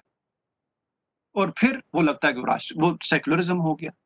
आप जितनी इसमें कम्युनलिज्म के ऊपर कम्युनलिज्म की इमारत के ऊपर सेक्युलरिज्म का प्लस्टर चढ़ाएँगे, ये इसके ऊपर टिकेगा नहीं, ये इनकम्पेटेबल है, गिरता जाएगा, ये टिकेगा नहीं एंटीबॉडी की तरह। तो ये चीज़ें सामने आ रही है। अब हमारा जो काम है, क्या होना चाहिए कि सबसे पहले एक कंसेप्चुअल एकेडमिक फ्रेमवर्क ज़रूर हो और उस पर बात हो यूनिवर्सिटीज में या कोई भी इंडिपेंडेंट रिसर्चर है तो हमें अपने प्राइमरी सोर्सेज पर जाना होगा। कश्मीर में लिखित हिस्ट्री है, राजतरंगनिया जोनराज कलहन श्रीवर की है। सबसे वहाँ पर मैं कश्मीर की बात करता हूँ। तो जब हमारे पास प्राइमरी सोर्सेज हैं तो हम सेकेंडरी सोर्सेज को क्यों देखते हैं? तो एक बाहर से जो आदमी आया, उसने अपनी इंटरप्रिटेशन की। यहाँ पर अलबैरूनी की बात की, यहाँ काशीनाथ जी हमारे साथ जुड़े होंगे। तो उन्होंने किताब लिखी तो फातुल अबाक का ट्रांसलेशन किया। उसमें वो बताते हैं, खुद विलोजाइज करते हैं, हमने काफिरों के साथ क्या किया। तो ये आप नकार नहीं सकते। लेकिन ये जो अपोलॉजिस्ट हैं इनकी लड़ाई रहेगी। लेकिन अब ये जितना बोलेंगे, उतना उनके लिए ठीक नहीं रहेगा, इतना एक्सपोज होते जा रहे हैं। अभी पीछे रोमिला ठाकुर ने कुछ दिन मेरे को लगता है कुछ टाइम पहले कहा जी, ये जो युधिष्ठर हैं, ये अशोक के बाद के काल के हैं। ये देख लीजिए, क्योंकि अब हिंदुओं ने महाभारत सिर्फ़ रामायण और महाभारत टीवी पर देखा तो उनके लिए वही है रामायण, महाभारत की एक नाटकीय अवधारणा अलग हो सकती है लेकिन उसका एक शास्त्र के रूप में काव्य के रूप में एक प्राइमरी रिसोर्स के नाते क्या हमारी जीवनचर्या है? क्या उसमें कैसे फिट बैठता? हमने आज तक कभी बात नहीं की। तो इसलिए हम खुद मान लेते हैं क्योंकि हमने खुद नहीं पढ़ा हमारे लोगों ने। तो उसको सच मान लेते हैं उन्होंने अंग्रेज़ी में किताबें लिख ली हम उसको सत्य मान लेते हैं। हमारे पर इंडिक स्टडीज़ के जितने भी आपके डिपार्टमेंट खुल सकते हैं इंडिपेंडेंट रिसर्च सेंटर खुल सकते हैं इसको हम तभी कैटर कर सकते हैं। तो नटशल में ये डिसंस्कृताइजेशन की प्रोसेस है। कभी कश्मीर में, कभी बंगाल में, कभी दिल्ली में जो हो रहा है, ये एक बहुत बड़ी लड़ाई है। ये एकेडमिक जहाद जिसको मैं कहता हूँ एकेडमिक जहाद की लड़ाई है। आपको लड़ाई केवल युद्ध क्षेत्र में नहीं लड़नी है। आपका दुश्मन विभिन्न क्षेत्रों में लड़ रहा है। वो बिज़नेस में आपके साथ लड़ रहा है, वो मैनेजमेंट में लग रहा है, वो आपके, मैं तो कहता हूँ सिक्योरिटी फोर्सेस में भी इन्फिल्ट्रेट कर गया है। मैं यहाँ तक कहने का रिस्क लेता हूँ। लेकिन सत्य है सबवर्शन की लड़ाई है। कई बार तो हमें लगता है कि ये डिसीज़न क्या हो रहा है? ये तो लगता है कि आईएसआई का डिसीज़न है, भारत में बैठ के कौन करवा रहा है? इसके पीछे कौन है? क्योंकि जैसे अरबिंदो सावरकर और तिलक ने कांग्रेस से बाहर आ गए उन्होंने समझ लिया कि एक इंस्ट्रूमेंट है, जिसको देश तोड़ने के लिए किया जा रहा है। तो इन लोगों के कारण अभी भी हमारे पास स्रोत बचे हैं। सावरकर ने राजनीतिक क्षेत्र में अरबिंदो में ने होलसम पूरे राष्ट्रवाद के क्षेत्र में तिलक ने लोक शक्ति जगाने के चक्कर में काम किया। तो ये केवल या किसी एक संगठन का काम नहीं है अब हमें ये बौद्धिक लड़ाई लड़नी पड़ेगी और तथ्यों के साथ, शोध के साथ और अपने लोगों को ज़्यादा से ज़्यादा ये जो मल्टीनेशनल्स की ओर हमारे बच्चे भागते हैं, इनको शोध की ओर अग्रसर कर एकेडमिक्स में हम बाहर के अब जैसे शेल्डन पुष्कर के एक हिस्टोरियन है, वो किस तरह से डिस्टॉर्ट करते हैं परमार्थिका और व्यवहारिका को? और सबसे लानत की बात है हमारे ऊपर श्रृंगेरी शारदा पीठ जैसे संस्थान उनके रिसर्च को फंड करते हैं। आप देख लीजिए, उनको स्कॉलर नहीं मिलते। तो इस तरह की लड़ाई में हम कितनी बड़ी लड़ाई लड़ रहे हैं? छोटी बात नहीं है। अभी सोरोस फाउंडेशन का खुलासा हो रहा है। कि वो किस तरह से भारत को विघटन की और बैल्कनाइजेशन की ओर ले जा रहे हैं हमारे इंस्ट्रूमेंट्स यूज़ करके, हमारे लोगों को यूज़ करके इस चीज़ को समझना पड़ेगा, तब हमारी जो देश की दिशा दर्शन है, ठीक होगा, सही मार्गदर्शन मिलेगा, और हम जिसे और दूसरी बात, ये जो उन्नीस में भारत का विभाजन हुआ, पाकिस्तान को पैरिटी देने के लिए क्या लिखा गया? India that is Bharat Bharat that is India नहीं, क्योंकि चौदह को आपने पाकिस्तान बनाया उसको कमिटी ऑफ़ नेशंस में इक्वलिटी मिले, आपने भारत की डिसंस्कृताइजेशन कर ली। और वही चल रहा है। और कुछ चीज़ें और भी हैं। अगर उनको डिस्कस करेंगे, बात बहुत बढ़ेगी। लेकिन कहने का मतलब है कि हिमालयन नॉर्दर्न फ्रंटियर तोड़ने के लिए आपको पाकिस्तान स्ट्रेटेजिकली वहाँ लोकेट कराया गया। ताकि कल को, उनको पता था कि भारत की आज़ादी की लड़ाई, हिंदू रिसर्जेंस की लड़ाई है। भारत के फ्रंटियर बचाने की लड़ाई है। तो वो यहाँ से निकले।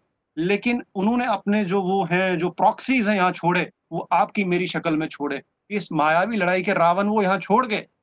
खर दूषण छोड़ गए, रावण चले गए। इन खर दूषणों के साथ लड़ने की ज़रूरत है और बिल्कुल स्कॉलरली लड़ेंगे हम लोग। इस फ्रंट पर ज़्यादा लड़ना है, क्योंकि जो लिखित शब्द है, उसका वार बहुत ज़्यादा है, क्योंकि आप डॉक्यूमेंटेशन करिए रिसर्च करिए रेफरेंस मटेरियल जब आपके पास होगा साइटेशन में आएगा, मायावी जाल टूट जाएगा। मैं बार बार कहता हूँ कि भगवान कृष्ण ने पूतना को कैसे मारा? वो प्रिय एक रूप सी महिला बन के उसको स्तनपान कराने आई तो भगवान कृष्ण छोटे बच्चे थे, उसको गोदी में लिया तो उसने उसके कान में सिर्फ़ इतना कहा होगा कि तू पूतना है ना? और जब पूतना को लगा कि इसने मुझे पहचान लिया है तो उसका तिलसिम टूट गया, चकनाचूर हो गया। इन पूतनाओं को पूतना कहने की आवश्यकता है। अब देखिए इनका तिलसम टूटेगा और भारत में जो सही शिक्षा पद्धति है, वो क्रियान्वित होगी। लेकिन पूतना को पूतना कहने की हिम्मत रखिए, आप 90 प्रतिशत जो लड़ाई है, बिना शस्त्रों के, बिना गुत्थम गुत्था लड़ाई के जीत जाएँगे। इनके दरातल बिल्कुल कुछ भी नहीं है, ये पानी के ऊपर भी खड़े नहीं है। आपको बेसिकली डरा रहे हैं इन बातों को, क्योंकि बोलते नहीं है। स्पेड को स्पेड नहीं कहते धन्यवाद। थैंक यू धन्यवाद महेश जी। बहुत ही प्रभावी आपके वक्तव्य रहा है। बहुत बहुत आभार। अपने मन की बात भी की और तथ्यों के साथ बात की है। मुझे लगता है यही इतिहास में शायद अपेक्षित था। और यही एक ऐसी बात है जिसके लिए कन्हैया लाल माणिक लाल मुंशी जो बार बार चिता रहे हैं। लेकिन वही है, जो इस भारत की बात करते हैं, उनको हमेशा हाशिए पे कर देने का एक तरीका रहा है।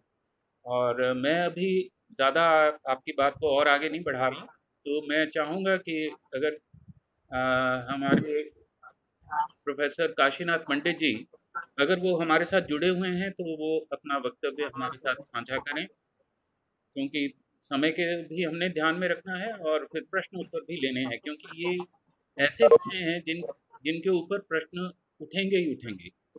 और मैं सभी प्रतिभागियों को ये भी बताना चाहूँगा कि जब मैं कहता हूँ कि मैं अक्सर अपने जो सेमिनार्स हैं, वो इस बात से शुरू करता हूँ तो कुछ हम कहने जा रहे हैं, आप उसको अस्वीकार करें, उससे सहमत ना हो। अगर आप सहमत हो जाते हैं तो हमारी वो सफलता नहीं है। हमारी सफलता इस बात में आप असहमत हों और तर्क संगत तरीके से असहमति हमें दिखाइए। आप उसमें दोष निकाल के दिखाइए कि जो हम कह रहे हैं। फिर बात आगे बढ़ती है। अदरवाइज़ आप सहमत हो गए हाँ हाँ करते रहे तो वो बात जो है वो ऐसे लगता है कि जैसे सो गए। तो ये सेमिनार जो है वो आप जलते हुए अंगारों के ऊपर जलने पड़ने वाली जो धूल होती है उसको हटाने के लिए होती है। तो इसलिए जागते हुए प्रश्नों के साथ जागें, क्योंकि जिस जाति के प्रश्न खत्म हो गए वो जाति ही समाप्त हो गई। तो अगर के काशीनाथ पंडिता जी हमारे साथ सर जुड़े हुए हैं, पद्मश्री काशीनाथ पंडित जी तो मेरा उनसे निवेदन है कि वो अपनी बात हमारे साथ रखें। सर अगर आप मेरी बात सुन पा रहे हैं तो कृपया एक बार हाँ कह दीजिए। मुझे लगता है वो एक्चुअली वहाँ दिक्कत ये आ रही है कि वहाँ टू जी है जम्मू में। मुझे उनका हाँ। नाम नहीं देखने को मिल रहा और वो बीच में दो बार जुड़े भी फ़ोन भी उनका आया। तो चलिए समय को हम बचाते हुए थोड़ा सा मैं चाहूँगा। कि हमारे अभी दो वक्ता रहे हैं तो यदि किसी के कोई प्रश्न है तो मर्यादा के अनुकूल जो कि एक हमारी सभ्याचारकता है, हमारी जो मर्यादाएँ हैं, उसके अनुकूल अपना वो प्रश्न रख सकते हैं। और अगर आप टिप्पणी भी देना चाहें तो आपका स्वागत है। अपनी असहमति जताना चाहते हैं तो सांस्कृतिक दृष्टि से हम उसको स्वीकार करेंगे। संविधान क्या कहता है, उसको छोड़ दीजिए। संविधान में स्वतंत्रता की बात को छोड़ दें आप, लेकिन संस्कृति स्वतंत्रता के अनुकूल आप अपनी हमारे साथ दर्ज करवाएँ। जी मनोज शर्मा जी कुछ कहना चाह रहे हैं? जी सर पहले तो प्रणाम करते हुए डॉक्टर मनोज जी सर। मनोज शर्मा हिमाचल से बोल रहे हो। पहले तो वक्ता को बहुत ही प्रणाम बहुत, अच्छे तरीके से कार्य हमारे को समझा समझा करके वेबिनार करो पा रहे हैं इसके लिए इनके लिए बहुत बेहद प्रसन्नता का विषय। दूसरा मेरा ये प्रश्न है कि जब हमारी भारतीय संस्कृति इतनी महान और इतनी अथाह है तो हमारे सिलेबस जो है एजुकेशन सिस्टम के ये एडोप्ट क्यों नहीं हो पा रहे हैं? बार बार भारतीय संस्कृति के ऊपर संस्कृत के ऊपर वार्तालाप भी होती है भारतीय संस्कृति के ऊपर वार्तालाप होती है लेकिन सिलेबस जो है वो कम लेवल पे हमारे जो है वो स्टूडेंट्स तक पहुँच पा रहे हैं। जी नीरज जी आप इस प्रश्न का उत्तर देना चाहेंगे? हाँ जी। मैं जो समझ पाया उनका क्वेश्चन ये है कि अगर हम सारा कुछ हमारे पास इतना अच्छा है तो हमारे बच्चों तक तो क्यों नहीं पहुँच पा रहा? यही है ना क्वेश्चन उनका? जी जी जी। बिल्कुल ठीक। जी। देखिए मैंने जो आपसे कहा कि जो टेम्पलेट बना है वो आज़ादी से पहले बन गया था। आपको ऐसे समझ के देखना है कि सारी दुनिया हिंदुस्तान में आना चाहती थी क्योंकि सोने की चिड़िया थे सबसे ज़्यादा अमीर देश, सबसे ज़्यादा वैभव जहाँ पर है, वहाँ लोग आना चाहते हैं। और जब मैं अंग्रेज़ों की किताबें पढ़ता हूँ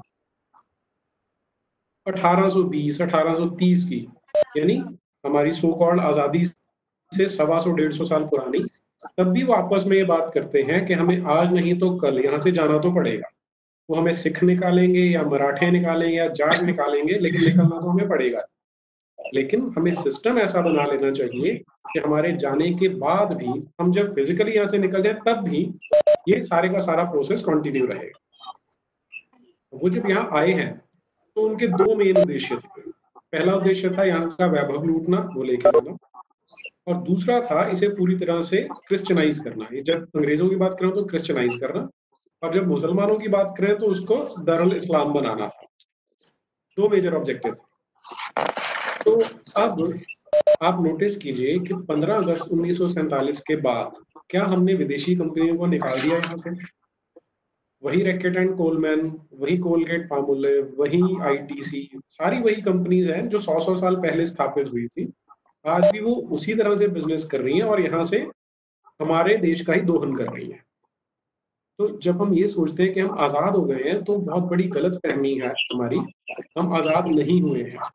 आप किसी लेवल सिर्फ़ इतने लेवल तक आज़ाद हो गए कि आज कोई बोर्ड नहीं लगाता कि Indians and dogs are not allowed उतनी आज़ादी तो हमें मिल गई है, उससे थोड़ी ज़्यादा मिल गई है। लेकिन जिसे हम मूलभूत या पूरी तरह से स्वतंत्रता कहते हैं, वो कभी नहीं मिली। आज तक तो नहीं मिली वो। दूसरी चीज़ जो उन्होंने हमें क्रिश्चनाइज करना है या इस्लामाइज करना है, उसके लिए देखिए, हमारे यहाँ जो परंपरा है सदा जहाँ तक जितनी इतिहास आप देखेंगे, जहाँ तक परंपरा रही है वाद की परंपरा कि आप बात करो। अगर मैं कन्विंस होता हूँ तो मैं आपके पीछे चलूँगा। आप कन्विंस होते हो तो आप मेरे पीछे चलो। क्योंकि वहाँ पर खुला खुला मन जैसे न्याय दर्शन में अगर आप पढ़े तो पहले ही सूत्र में वो पहली बात करते हैं वाद के और दूसरी बात करते हैं जल्प की। जल्प का अर्थ है जहाँ पर एक व्यक्ति जो बात कर रहा है, वो सिर्फ़ जीतने के लिए कर रहा है, वो सच जानने की कोशिश ही नहीं कर रहा। तो जो पूरे संसार को किंगडम ऑफ़ गॉड बनाना चाहते हैं, दारुल इस्लाम बनाना चाहते हैं, उनका कोई रूल बुक नहीं कि हमें रूल्स फॉलो करने हमें सच को जानना है। उन्होंने बस वो वाली सोच आप पे इम्पोज करनी है।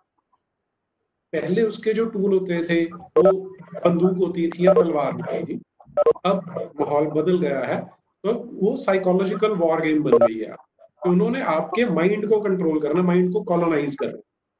और उसके लिए टेक्स्ट बुक से अच्छा कुछ भी नहीं हो सकता। कि बच्चा विश्वास करता है कि मेरा टीचर मुझे पढ़ा रहा है, मेरी किताब में लिखा तो ये सच होगा। इसी टूल को उन्होंने यूज़ करके अभी भी सेम प्रोसेस चल रहा है।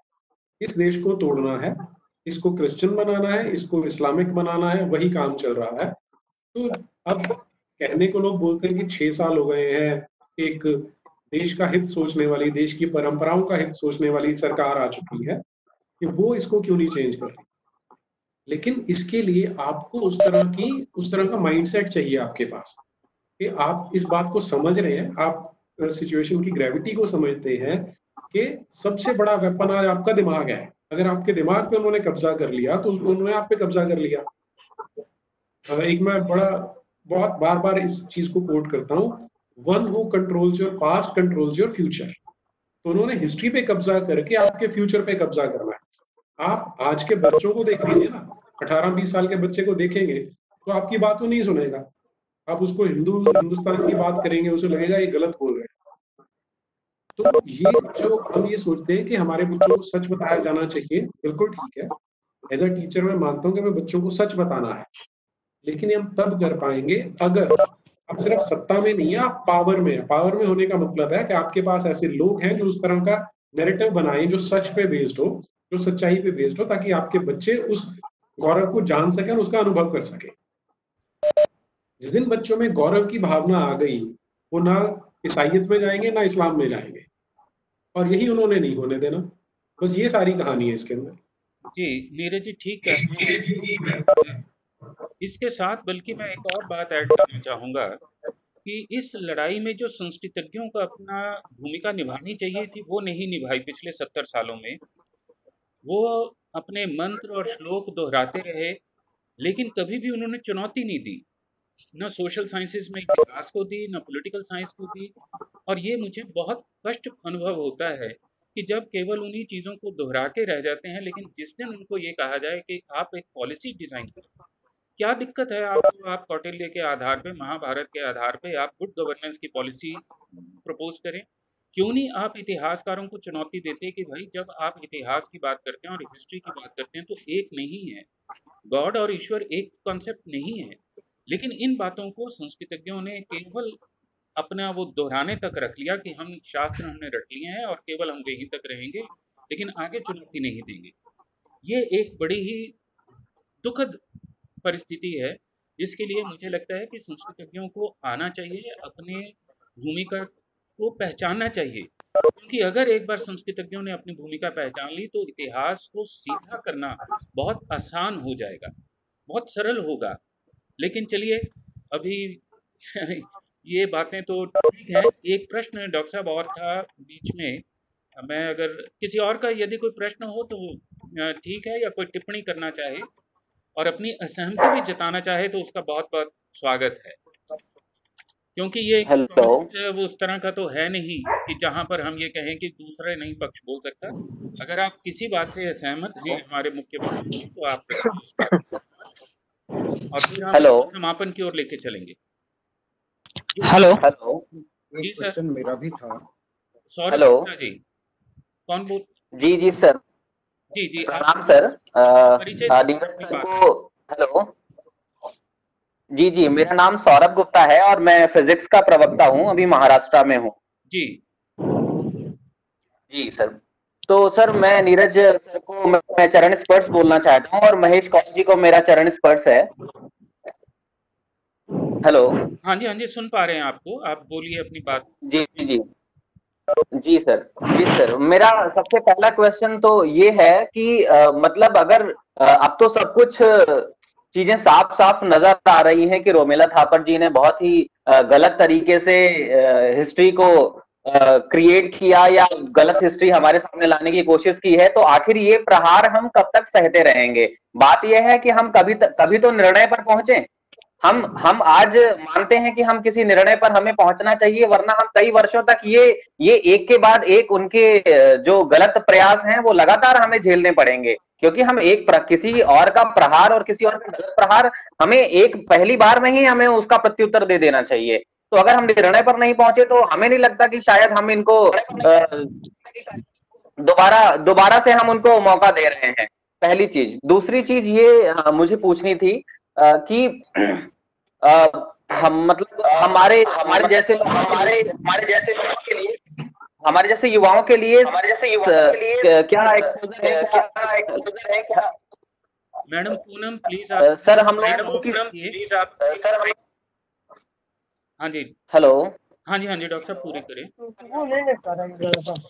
अपनी बात जल्दी से पूरी करें। अपनी बात जल्दी से जी जी। सर तो मैं ये कहना चाह रहा था कि आ, मतलब हम हमें क्या मार, हमें क्या मार्गदर्शन हमारे जैसे युवाओं को क्या मार्गदर्शन होगा इसमें कि हम इस चीज़ को आगे बढ़ा सकें। इस चीज़ को आगे बढ़ा सकें। जी जी जी। ठीक है। जी जी जी। एक बार और एक आध किसी का कोई प्रश्न है तो फिर उसको समापन की ओर हम लेके चलेंगे। तो आशुतोष जी उस पे ले एक प्रश्न मैं भी पूछना चाह रहा हूँ। जी सर। मनोज जी। आ, मैं मनोज कुरुक्षेत्र यूनिवर्सिटी से। जी सर। आ, मैंने एक पुस्तक में पढ़ा था कि उन्नीस सौ नवासी में पश्चिम बंगाल सरकार ने एक ऐसा आदेश निकाला था जिससे हिस्ट्री निकाला था। जो हिस्ट्री की किताबों में जो ओरिजिनल चीज़ें लिखी हुई थी उनमें से ऐसी चीज़ें जिनसे कि मुस्लिम मुस्लिम आक्रांताओं के धर्मों के बारे में ऐसी चीज़ें सामने आए कि लोगों में एक गलत मैसेज जाए तो उन चीज़ों को हटा दिया जाए। क्या सरकार के इस कदम को किसी भी बुद्धिजीवी ने उस समय और उसके बाद भी कोई चुनौती नहीं दी। जी। नवासी की और ये मैंने अरुण शौरी जी की एक पुस्तक है एमिनेंट हिस्टोरियंस उसमें पढ़ा था। जी ठीक है। उसमें और भी बहुत सारी चीज़ें लेकिन अभी इस समय मैं ये एक ही चीज़ जानना चाह रहा था। जी, ठीक है।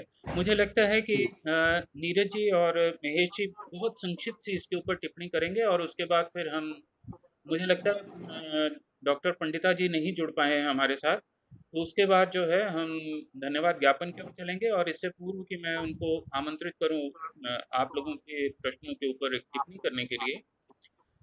फॉर्म जो है, रजिस्ट्रेशन फॉर्म आपके सर्टिफिकेट के लिए वो हमने डाल दिया है।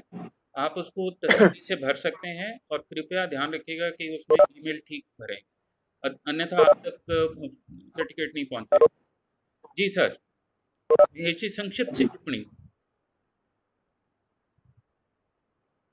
पहले महेश जी दे रहे क्या?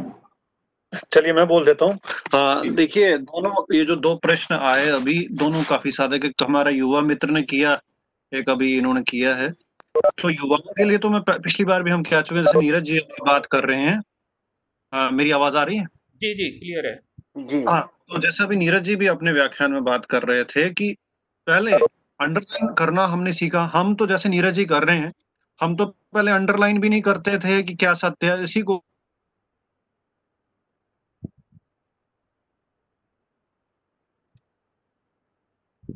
और युवाओं के लिए ये है कि अब पढ़ना शुरू करिए। मेरी अपनी एक सजेशन एडवाइस नहीं करूँगा। कम से कम, आजकल तो किताबों का दौर खत्म हो गया। गूगल पर जरा कम डिपेंड करिए, अगर आप भारत के बारे में सही जानना चाहते हैं। आप प्राइमरी रिसोर्सेज की ओर जाइए कम से कम। आपके घर में रामायण ही होगा तो उसको जरा ध्यान से देखिए।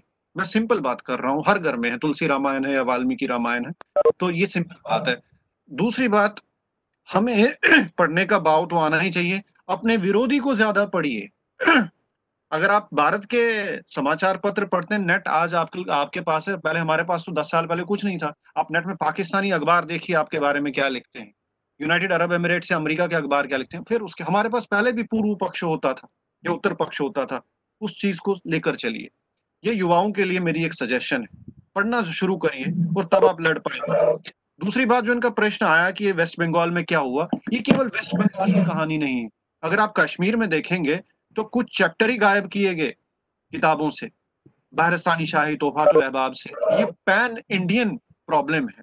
और लाइब्रेरीज में अगर किताबें हमारे हिंदू इतिहास की पढ़ी हैं, वो इशू नहीं होती हैं जम्मू कश्मीर में भी। बाकी प्रदेशों में भी यही हाल है। हमारे एक बहुत बड़ी पॉलिटिकल साइंटिस्ट हुए जम्मू कश्मीर के। पिछले साल वो स्वर्ग चले गए। प्रोफेसर मोहन कृष्ण टेंग साहब, काफ़ी अच्छा काम किया। उनको तो काफ़ी प्रताड़ित भी किया गया, लेकिन वो डरे नहीं। नेशनल आर्काइव्स में जब वो रिसर्च कर रहे थे तो उनको इजाज़त नहीं थी कि आप उसकी फोटोकॉपी भी करें, लेकिन उनको प्रणाम करते हैं, एक तरह से उनको व्यास मूर्ति मानते हैं। वो एक एक घंटा वो वहाँ अंदर आर्काइव पढ़ के फिर बाहर लिखते थे पेंसिल या पेन से फिर दोबारा अंदर जाते थे। तो कहने का मतलब है, केवल बंगाल में नहीं है। आपने बंगाल का सुनाया, ये कश्मीर में, ये जम्मू में, ये दिल्ली में हर जगह हुआ। ये जहाद, जो मानसिक जहाद की बात बिल्कुल सही कही मेरे मित्र नीरज जी ने, ये मानसिक दास्ता का उनको पता है कि हमें स्ट्रक्चर क्या करना जब हमने ह्यूमन रिसोर्स ही कैप्चर कर लिया मैंने पहले भी कहा ये मायावी लड़ाई है तो ये हर जगह यही हो रहा है इस चीज़ का ध्यान रखना होगा। जी धन्यवाद सर। नीरज जी आपकी टिप्पणी अंतिम और उसके बाद फिर मेजर जनरल ए के शोरी धन्यवाद ज्ञापन लेंगे। सौरभ जी और मनोज जी दोनों के जो क्वेश्चन थे मनोज जी जब आपने कहा कि हम वो जो सर्कुलर आया था तो उसका कोई हमने प्रतिकार क्यों नहीं किया। तो जो अरुण शौरी की किताब है वो अपने आप में एक प्रतिकार था। और दूसरा है कि हम क्या करें? क्योंकि सबकी वेदना सबकी पीड़ा ये है कि हमें इसमें करना क्या है। तो पहली चीज़ तो आ, हमने लोगों को अवेयर करना है। उन्होंने अभी महेश जी ने एक बहुत सुंदर बात बोली है कि आपने सिर्फ़ उनको बताना है कि तुम क्या हो। सिर्फ़ उतना करने से ही काम हो जाता है। जब तक हम विरोधी को जानेंगे नहीं, हम कुछ नहीं कर सकते इसमें। और एक चीज़ जो मैं चाहता हूँ कि हमें, हमारे देश में होनी चाहिए, वो है राइट टू ट्रू हिस्ट्री सच्चा इतिहास जान, जानना हमारा मौलिक अधिकार होना चाहिए, कि जो हिस्ट्री के नाम पे झूठ पेश करे, उसे सजा मिलनी चाहिए। ऐसा काम जर्मनी ने किया था सेकेंड वर्ल्ड वॉर के बाद, कि जो वहाँ पे डिनाई करता है कि होलोकोस्ट हुआ था, अगर कोई इसे डिनाई करता है तो उसको सजा दी जाती है। तो ऐसा हमारे देश में भी होना चाहिए। तो हम सिटीजन के रूप में इस तरह का एक प्रेशर बनाए सरकार पे कि ऐसा कानून भी बने और हिस्ट्री सही लिखी जाए। ये हम कर सकते हैं। जी। धन्यवाद। नीरज जी की सर मैं मैं, मैं चाहूँगा। जी। हेलो। हाँ कहना चाहूँगा। मुझे एक चीज़ बोलनी थी कि आ, मैं लगातार देख रहा हूँ कि लगातार प्रहार हो रहा है रोमिला था, थापर जी की तरफ़ से और जबकि हम जानते हैं और हमने कई जगह पर ये प्रतिकार करके ये खुलासा कर भी दिया है कि वो सरासर गलत हैं लेकिन फिर भी उन्हें अगला मौका देना ये तो आत्महत्या करने के बराबर है ना? तो अब ये निर्णय कब? ये प्रश्न है। आप देखिए ये थोड़ा सा ये पावर स्ट्रक्चर है। पावर स्ट्रक्चर है ये। डॉक्टर वो पावर में ये ये तो आज आपने एक वेबिनार इस्तेमाल देखा है इसको अभी हम कंटिन्यू करेंगे। मैं चाहूँगा कि अगले वेबिनार में भी आप जुड़ें। अभी तो हिस, हिस्ट्री को इतिहास को सही करने में बहुत कुछ करना बाकी है। अगर हम केवल इतना भी करना शुरू कर दें मैं नीरज जी की बात को आगे बढ़ा रहा हूँ कि अपनी भाषा अगर ठीक कर लें हम अपनी मातृभाषा में सोचें अंग्रेज़ी में कहें कोई दिक्कत नहीं है। लेकिन सोचें अपनी भाषा में। अगर आप अंग्रेज़ी में सोचेंगे और अंग्रेज़ी में कहेंगे तो आप इस देश के साथ द्रोह करते हैं। आप सोचें हिंदी में, पंजाबी में, बंगला में, मराठी में, किसी में भी सोचें, आपका अपने आप भाषा ठीक होगी, आपका इतिहास ठीक होने लग जाएगा। जब आप धर्म शब्द को ठीक कर लेंगे, राजा शब्द का अर्थ किंग कहीं नहीं हो सकता, कभी भी नहीं हो सकता। लेकिन उसको हम पढ़ा रहे हैं, मूर्खों की तरह पढ़ा रहे हैं कि किंग और राजा एक होते हैं। Raja is accountable to his praja king is absolute monarch कहाँ से आप तालमेल बिठा देते हैं। तो इसलिए भाषा और इतिहास मुझे लगता है कि अगला सेमिनार हम इसी के ऊपर करेंगे। और जब हमारे साथ लोग जुड़ने शुरू होंगे अवेयरनेस आएगी, आप जाके लोगों से बात करेंगे तो निश्चित रूप से ये परिवर्तन आएगा ही आएगा। चुनौती तो देना सीखें और फिर चुनौती दूसरी आगे जा करके इन्हीं सब शब्दों के साथ मैं आमंत्रित कर रहा हूँ। मेजर जनरल अमिल कुमार शोरी जी को, जो डायरेक्टर हैं human development policy research and training centre के, उनके ऑलरेडी वाल्मीकि रामायण पे दो पुस्तकें प्रकाशित की हैं, उसके ऊपर उनका बहुत विशेष काम है और उसके साथ साथ पंचतंत्र के ऊपर वो मैनेजमेंट कोर्सेज करवाते हैं, पंचतंत्र के आधार पे, जो अपने आप में आपको बहुत कम लोगों में देखने को मिलेगा।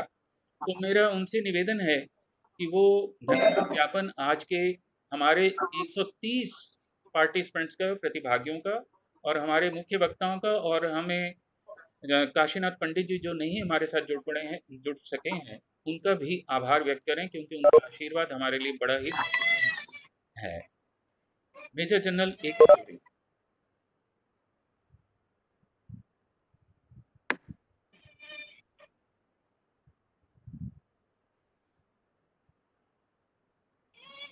सर, आपकी आवाज़ नहीं आ रही। शोरी साहब? हेलो जी। क्या हो रहा? है हेलो शोरी साहब? सर माइक अनम्यूट करें। Major general. हेलो सर आप मेरी आवाज़ सुन पा रहे हैं?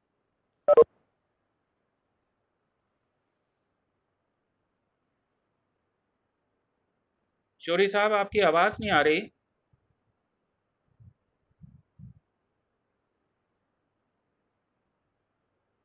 हेलो।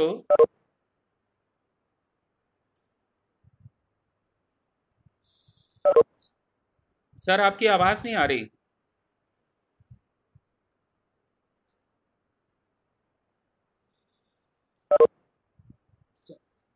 सर आप देखें, नहीं है तो मोबाइल से आप बात कर लें हमारे साथ।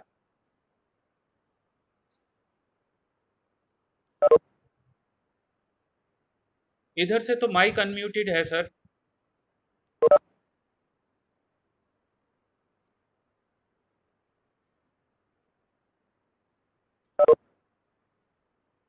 सर, नहीं, आपके, या तो आप एक बार पिंस अपने इसके ईयरफोन के निकाल के दोबारा लगाएँ।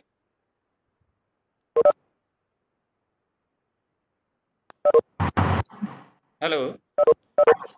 हाँ जी अब बोलिए आप। मुझे लगता है आपकी आवाज़ आवाज़ आ रही है अभी? हाँ जी अभी आ रही है आवाज़? हाँ जी हाँ जी ईयरफोन छोड़ दीजिए। ओ, ओके हो सकता है उसमें कुछ टेक्निकल इशू हो। जी। आ, बहुत बहुत शुक्रिया आशुतोष जी। सभी का धन्यवाद करने से पहले मैं कुछ एक अपनी पॉइंट्स जो है आप सबके सामने रखना चाहूँगा। नीरज जी ने और डॉक्टर महेश कौल जी ने इतना बढ़िया एक्सप्लेन किया है कि हम एक किस्म से मंत्र मुक्त होकर काफ़ी देर से इनको सुन रहे थे और हम चाहते थे कि ये और बोलते चले, लेकिन समय की रिस्ट्रिक्शन की वजह से ऐसा नहीं हो पाया।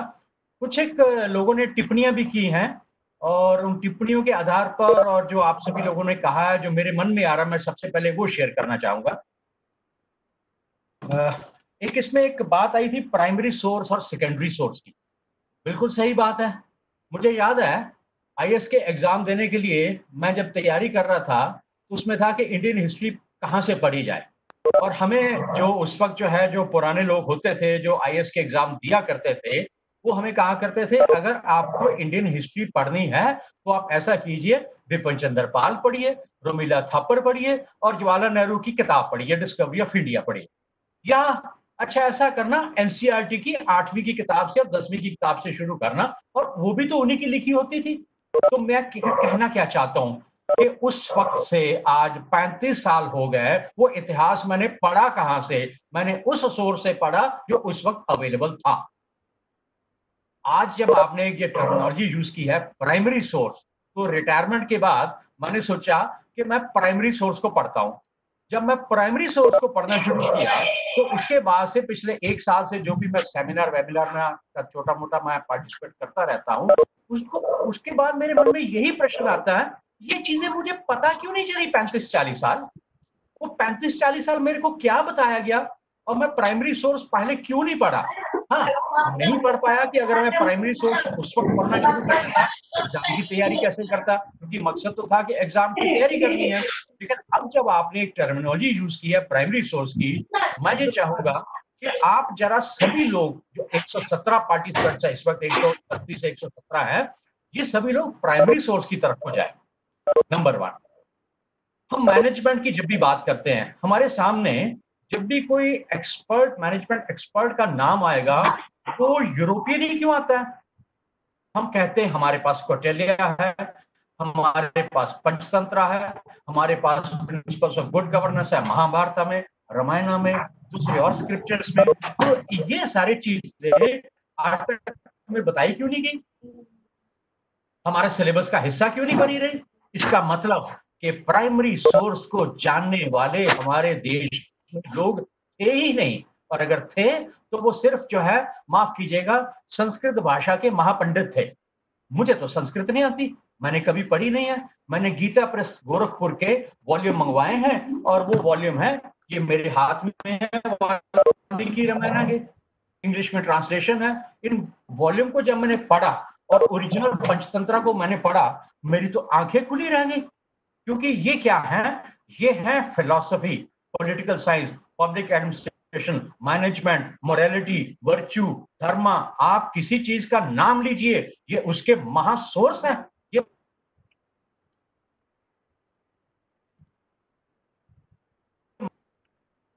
बड़े अफसोस की बात है कि आज कोरोना के टाइम पर भी हमें टीवी के ऊपर चमत्कार ही परोसा गया। क्या है? हम किसको क्रिटिसाइज करें क्रिटिसाइज हम दूसरों को चाहे इतिहास में जाकर जितना मर्ज़ी क्रिटिसाइज कर लें, लेकिन आज हम जहाँ हैं और आगे हमें कहा जाना है, हम सबको जो है अपने आप को झिझोड़ना पड़ेगा ये सारे पार्टिसिपेंट्स इस वेबिनार में हैं। बहुत सारे लोग जो है कॉलेज के प्रोफेसर हैं हेड ऑफ़ द डिपार्टमेंट है। मैं सबसे रिक्वेस्ट करूँगा कि आप सरकार की तरफ़ मत देखिए। आप किसी शासन तंत्र की तरफ़ मत देखिए। आप लोग इसी तरह के वेबिनार सेमिनार अपने कॉलेज में शुरू करने का बीड़ा उठाइए। आप बच्चों को पंचतंत्र की कहानियाँ मत सुनाइए। पंचतंत्र की कहानियों के पीछे जो छपी हुई फिलोसफी है, जो इसमें मैनेजमेंट के प्रिंसिपल्स हैं, उनको उबार कर सामने लेकर आइए। इससे इससे यही अगर आप अपने लाइफ टाइम में कर लेंगे तो समझ लीजिए कि एक समाज में एक लहर जो है वो चलनी शुरू हो। मैं इस चीज़ में यकीन करता हूँ। आशुतोष जी ने एक हिस्ट्री ऑफ़ हिंदू प्रोजेक्ट का जो व्हाट्सएप ग्रुप बना रखा है थोड़ी सी मैं उसमें भी रिसर्च करने की कोशिश कर रहा हूँ कि बहुत लंबा इतिहास है, इतने को मैं हाथ नहीं डाल पाऊँगा, लेकिन मैंने उसमें से छोटे से पोर्शन को पकड़ा है कि 1857 से ऑनवर्ड्स हिंदुओं का फ्रीडम स्ट्रगल में कंट्रीब्यूशन क्या रही? अगर मैं उसको जानने की कोशिश करता हूँ, वो मेरी उंगलियों पर गिने वाले, चुने वाले पाँच दस या दस नाम नहीं है कम से कम सौ डेढ़ सौ ऐसे नाम हैं जिनके बारे में मुझे पता ही नहीं था कि हिंदुस्तान के फ्रीडम स्ट्रगल में अठारह सौ सत्तावन से लेकर उन्नीस तक इन डेढ़ दो सौ पर्सनैलिटीज का रोल रहा है। मुझे तो मालूम ही नहीं था। अगर मुझे नहीं मालूम है तो आज स्कूल में पढ़ने वाले बच्चों को क्या इतिहास मालूम हो हमें हमें थोड़ा सा, हम सबको जो है जागरूकता की तरफ़ को चलना चाहिएगा। इसीलिए ये आज जो वेबिनार हो रहा है, सबसे पहले तो मैं धन्यवाद देना चाहता हूँ। संजीव का। संजीव जी, आपने ये जो बीड़ा उठाया है, ये मैं देख रहा हूँ कि बहुत ही जल्दी इसकी ब्रांचेस जो है वो जगह जगह लगती जा रही है। आप डिफरेंट डायमेंशन जो रामायणा के निकाल कर वेबिनार कर रहे हैं, उससे हंड्रेड परसेंट लोगों को एक नई अवेकनिंग मिल रही है। तो मैं आपका बहुत बहुत धन्यवादी हूँ और रामायणा का जैसे उस दिन हमने एक वेबिनार किया था कि इंडियन कॉन्स्टिट्यूशन उसके बाद मैं सोचता रहा वेबिनार करने के बाद, हालाँकि मेरी एक प्रेजेंटेशन थी लेकिन मैं अपनी प्रेजेंटेशन से सेटिस्फाइड नहीं था। मैं बाद में सोचता रहा सोचता रहा भाई अगर ये मैं कंपैरिजन कर रहा हूँ तो उस वक्त कॉन्स्टिट्यूट असेंबली के लोगों ने जिनके सामने चार हज़ार पुरा, साल पुराना इतिहास था उन्होंने इन फीचर्स को क्यों नहीं उसमें डाला? क्यों नहीं डाला उन्होंने? क्या जानबूझ कर नहीं डाला? क्या अनजान थे वो? या कॉन्स्पिरेसी थी? या उनका लेवल ऑफ़ नॉलेज ही ऐसा था कि उन्होंने इस तरफ़ को देखा ही नहीं?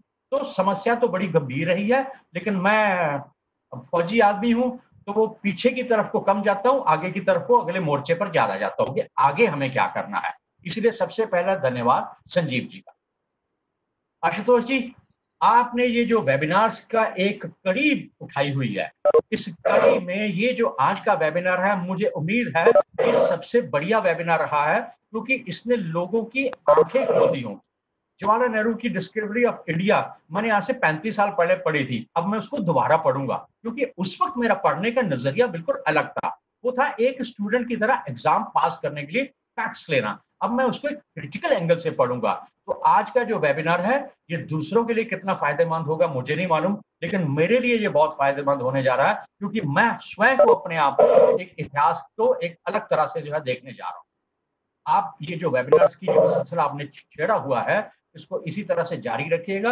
और जैसा आपने कहा कि हिस्ट्री और लैंग्वेज और कुछ एक एक दो और के बारे में आपने भी मेंशन किया हुआ है। समय की ज़रूरत है कि उन वेबिनार्स को भी आने वाले समय में जल्दी से जल्दी किया जाए। आपका बहुत बहुत धन्यवाद। डॉक्टर कौर क्या कहूँ आपके बारे में?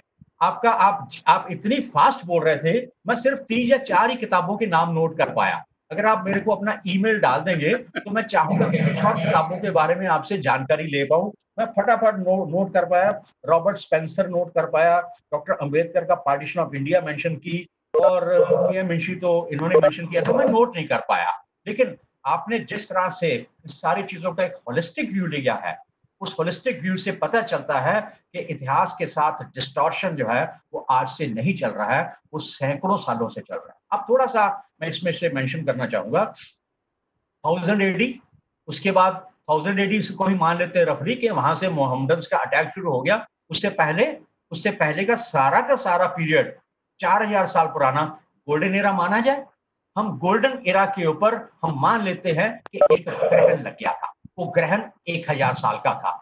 आइए हम सब मिलकर उस ग्रहण को हटाने की कोशिश करते हैं, ताकि उन सारी चीज़ों को जो छुपी हुई हैं, और मैं एक सेंटेंस जो हमेशा बोलता हूँ, ये क्या है? ये हमारे ग्रंथ जो है, ये सोने के भंडार हैं, जिसके ऊपर टनों मिट्टी हमने खुद अपने हाथों से डालकर उनको कबर के नीचे दफना कर रखा हुआ है। उसको हटाएँ, उसको निकालें। और कौन साहब, आपने जिस तरह से हिस्टोरिकल परस्पेक्टिव दिया है, आपने जो फैक्ट्स बताए हैं और आपने जो है ये सारे इश्यूज़ को एक ब्रॉड जो है वर्ल्ड वाइड सिनेरियो हमने सामने प्रोजेक्ट किया। आपका बहुत बहुत धन्यवाद। मैं पर्सनल लेवल पर आपको ईमेल करके आपसे कुछ और इन्फॉर्मेशन लूँगा पढ़ने के लिए, ताकि जो है ये कुछ किताबें मैं नोट नहीं कर पाया। इसके अलावा हमारे साथ प्रोफेसर काशीनाथ जी नहीं जुड़ पाए हैं। अगर वो जुड़ते तो बहुत अच्छा होता। हम उनके विचारों से और हमें नॉलेज मिलती, हमें शिक्षा मिलती। फिर भी इन एबसेंशिया मैं उनका भी बहुत बहुत धन्यवाद करता हूँ। और फाइनली ऑल द पार्टिसिपेंट्स मैं बड़ी देर से जो है शुरू से आपके कमेंट्स आप बहुत अच्छा मेरी आप सबसे रिक्वेस्ट है कि आप इसी तरह की मुहिम को इस तरह के वेबिनार्स को अपने कॉलेजेस में कीजिए because some of the people they belong to Himachal के महाराष्ट्र से है एक दो साउथ से भी है।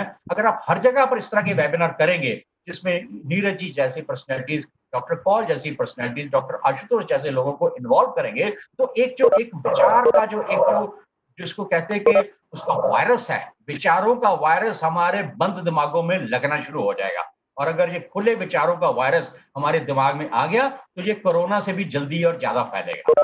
इसलिए आप सभी लोगों का बहुत बहुत धन्यवाद। नीरज अत्री जी का धन्यवाद रह गया है।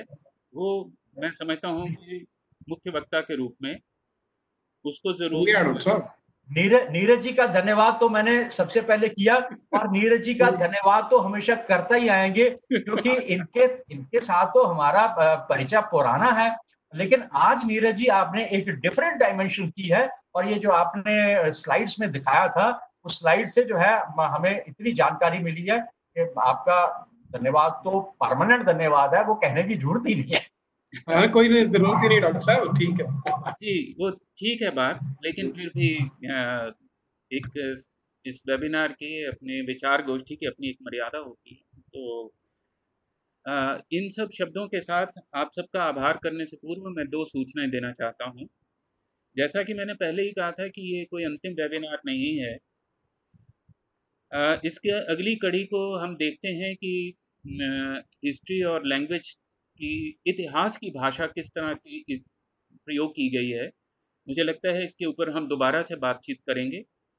और मैं आप लोगों को कल के लिए भी आमंत्रित करना चाहूँगा। कल हमारा एक और वेबिनार है इसी लिंक के ऊपर। और वो है वैदिक मेडिकल एस्ट्रोलॉजी के ऊपर है। और उसमें इश्यूज़ क्या हैं और उसकी पॉसिबिलिटीज़ क्या हैं कि किस तरह से मेडिकल एस्ट्रोलॉजी जो है वो प्रभावी है और किस तरह से वो एक्यूरेट उसमें कई चीज़ों को डील किया जाता है उस सब के ऊपर है। कल इसी टाइम पे साढ़े दस के बजे है। आप लोग थोड़ा सा अगर चाहें तो एक ग्रुप जैसा क्रिएट करें इतिहास का, कोई भी कर सकता है। तो हम जो है वो कम से कम एक जैसे लोग जुड़ने तो शुरू हों और उसमें और लोगों को जोड़ करके आगे की संभावनाओं को तलाश करें। और अंतिम बात कह करके मैं आप सभी को सभा विसर्जित करने के लिए कहूँगा कि यदि आप में से किसी की कोई रुचि हो इस तरह का काम करने पे, हिंदुओं का इतिहास लिखने के ऊपर यदि रुचि हो तो आप हमें संपर्क करें, हमें अपना आर्टिकल भेजें। लेकिन ध्यान रखिए कि हम हिंदुज़म की बात नहीं कर रहे मेरा हिंदुज़म से तात्पर्य नहीं है। हिस्ट्री ऑफ़ हिंदूज का मतलब है कि वैदिक काल में हिंदू हिस्ट्री क्या रही है? मुस्लिम काल में हिंदू हिस्ट्री क्या रही है? ब्रिटिश पीरियड में हिंदू हिस्ट्री क्या है? तो हिंदू हिस्ट्री हमें चाहिए एंशंट मिडीवल और मॉडर्न हिंदू हिस्ट्री। उसके ऊपर अगर आप कुछ लिख सकते हैं, जैसे मेजर जनरल अमिल कुमार शोरी जो हैं, इन्होंने हिंदू क्रांतिकारियों के इतिहास पे काम शुरू किया हुआ है और काफ़ी काम उसके ऊपर कर लिया हुआ है। इसी तरह से अगर आप कोई हिंदू के ऊपर लिख सकते हैं, हम उसको पब्लिश भी करेंगे। और जो सहयोग और समर्थन अपेक्षित होगा, वो भी आप लोगों को हम प्रोवाइड करेंगे। और यदि आप में कोई इनिशिएटिव लेकर के ऐसा कोई वेबिनार करे, मैं तो करूँगा ही, लेकिन यदि आप अपनी संस्था की ओर से करते हैं तो उसमें टेक्निकल सपोर्ट अगर चाहिए या और किसी तरह की कोई सपोर्ट चाहिए तो हम उसको भी प्रोवाइड करने का प्रयास करेंगे। तो इन्हीं सब शब्दों के साथ मैं आप सभी का आभार व्यक्त करता हूँ, धन्यवाद ज्ञापित करता हूँ। आप लोगों ने धैर्यपूर्वक सुना और उसको अप्रिशिएट भी किया। और ध्यान रखिए कि अपनी सांस्कृतिक उन मूल्यों को पहचानने का प्रयास करें। कॉन्स्टिट्यूशन संस्कृति का एक छोटा सा हिस्सा है। संस्कृति बहुत बड़ी है। तो कृपया उन चीज़ों को पहचाने, अपने कर्म को, अपने धर्म को, अपने जो विचार है, करने का जो प्रक्रिया है, उनको पहचाने और हमारे साथ जुड़े रहें। अगले कई सेमिनार्स के लिए हम निरंतर जारी रखेंगे। और इन्हीं सब शब्दों के साथ आप सबका आभार। आप मीटिंग छोड़ सकते हैं और मीटिंग छोड़ने से पहले अपना लिंक ज़रूर भर दीजिएगा ताकि सर्टिफिकेट आपको दोपहर के बाद शाम को किसी वक्त भी मिल जाएगा। आप सभी का बहुत बहुत आभार। You can leave the meeting now everyone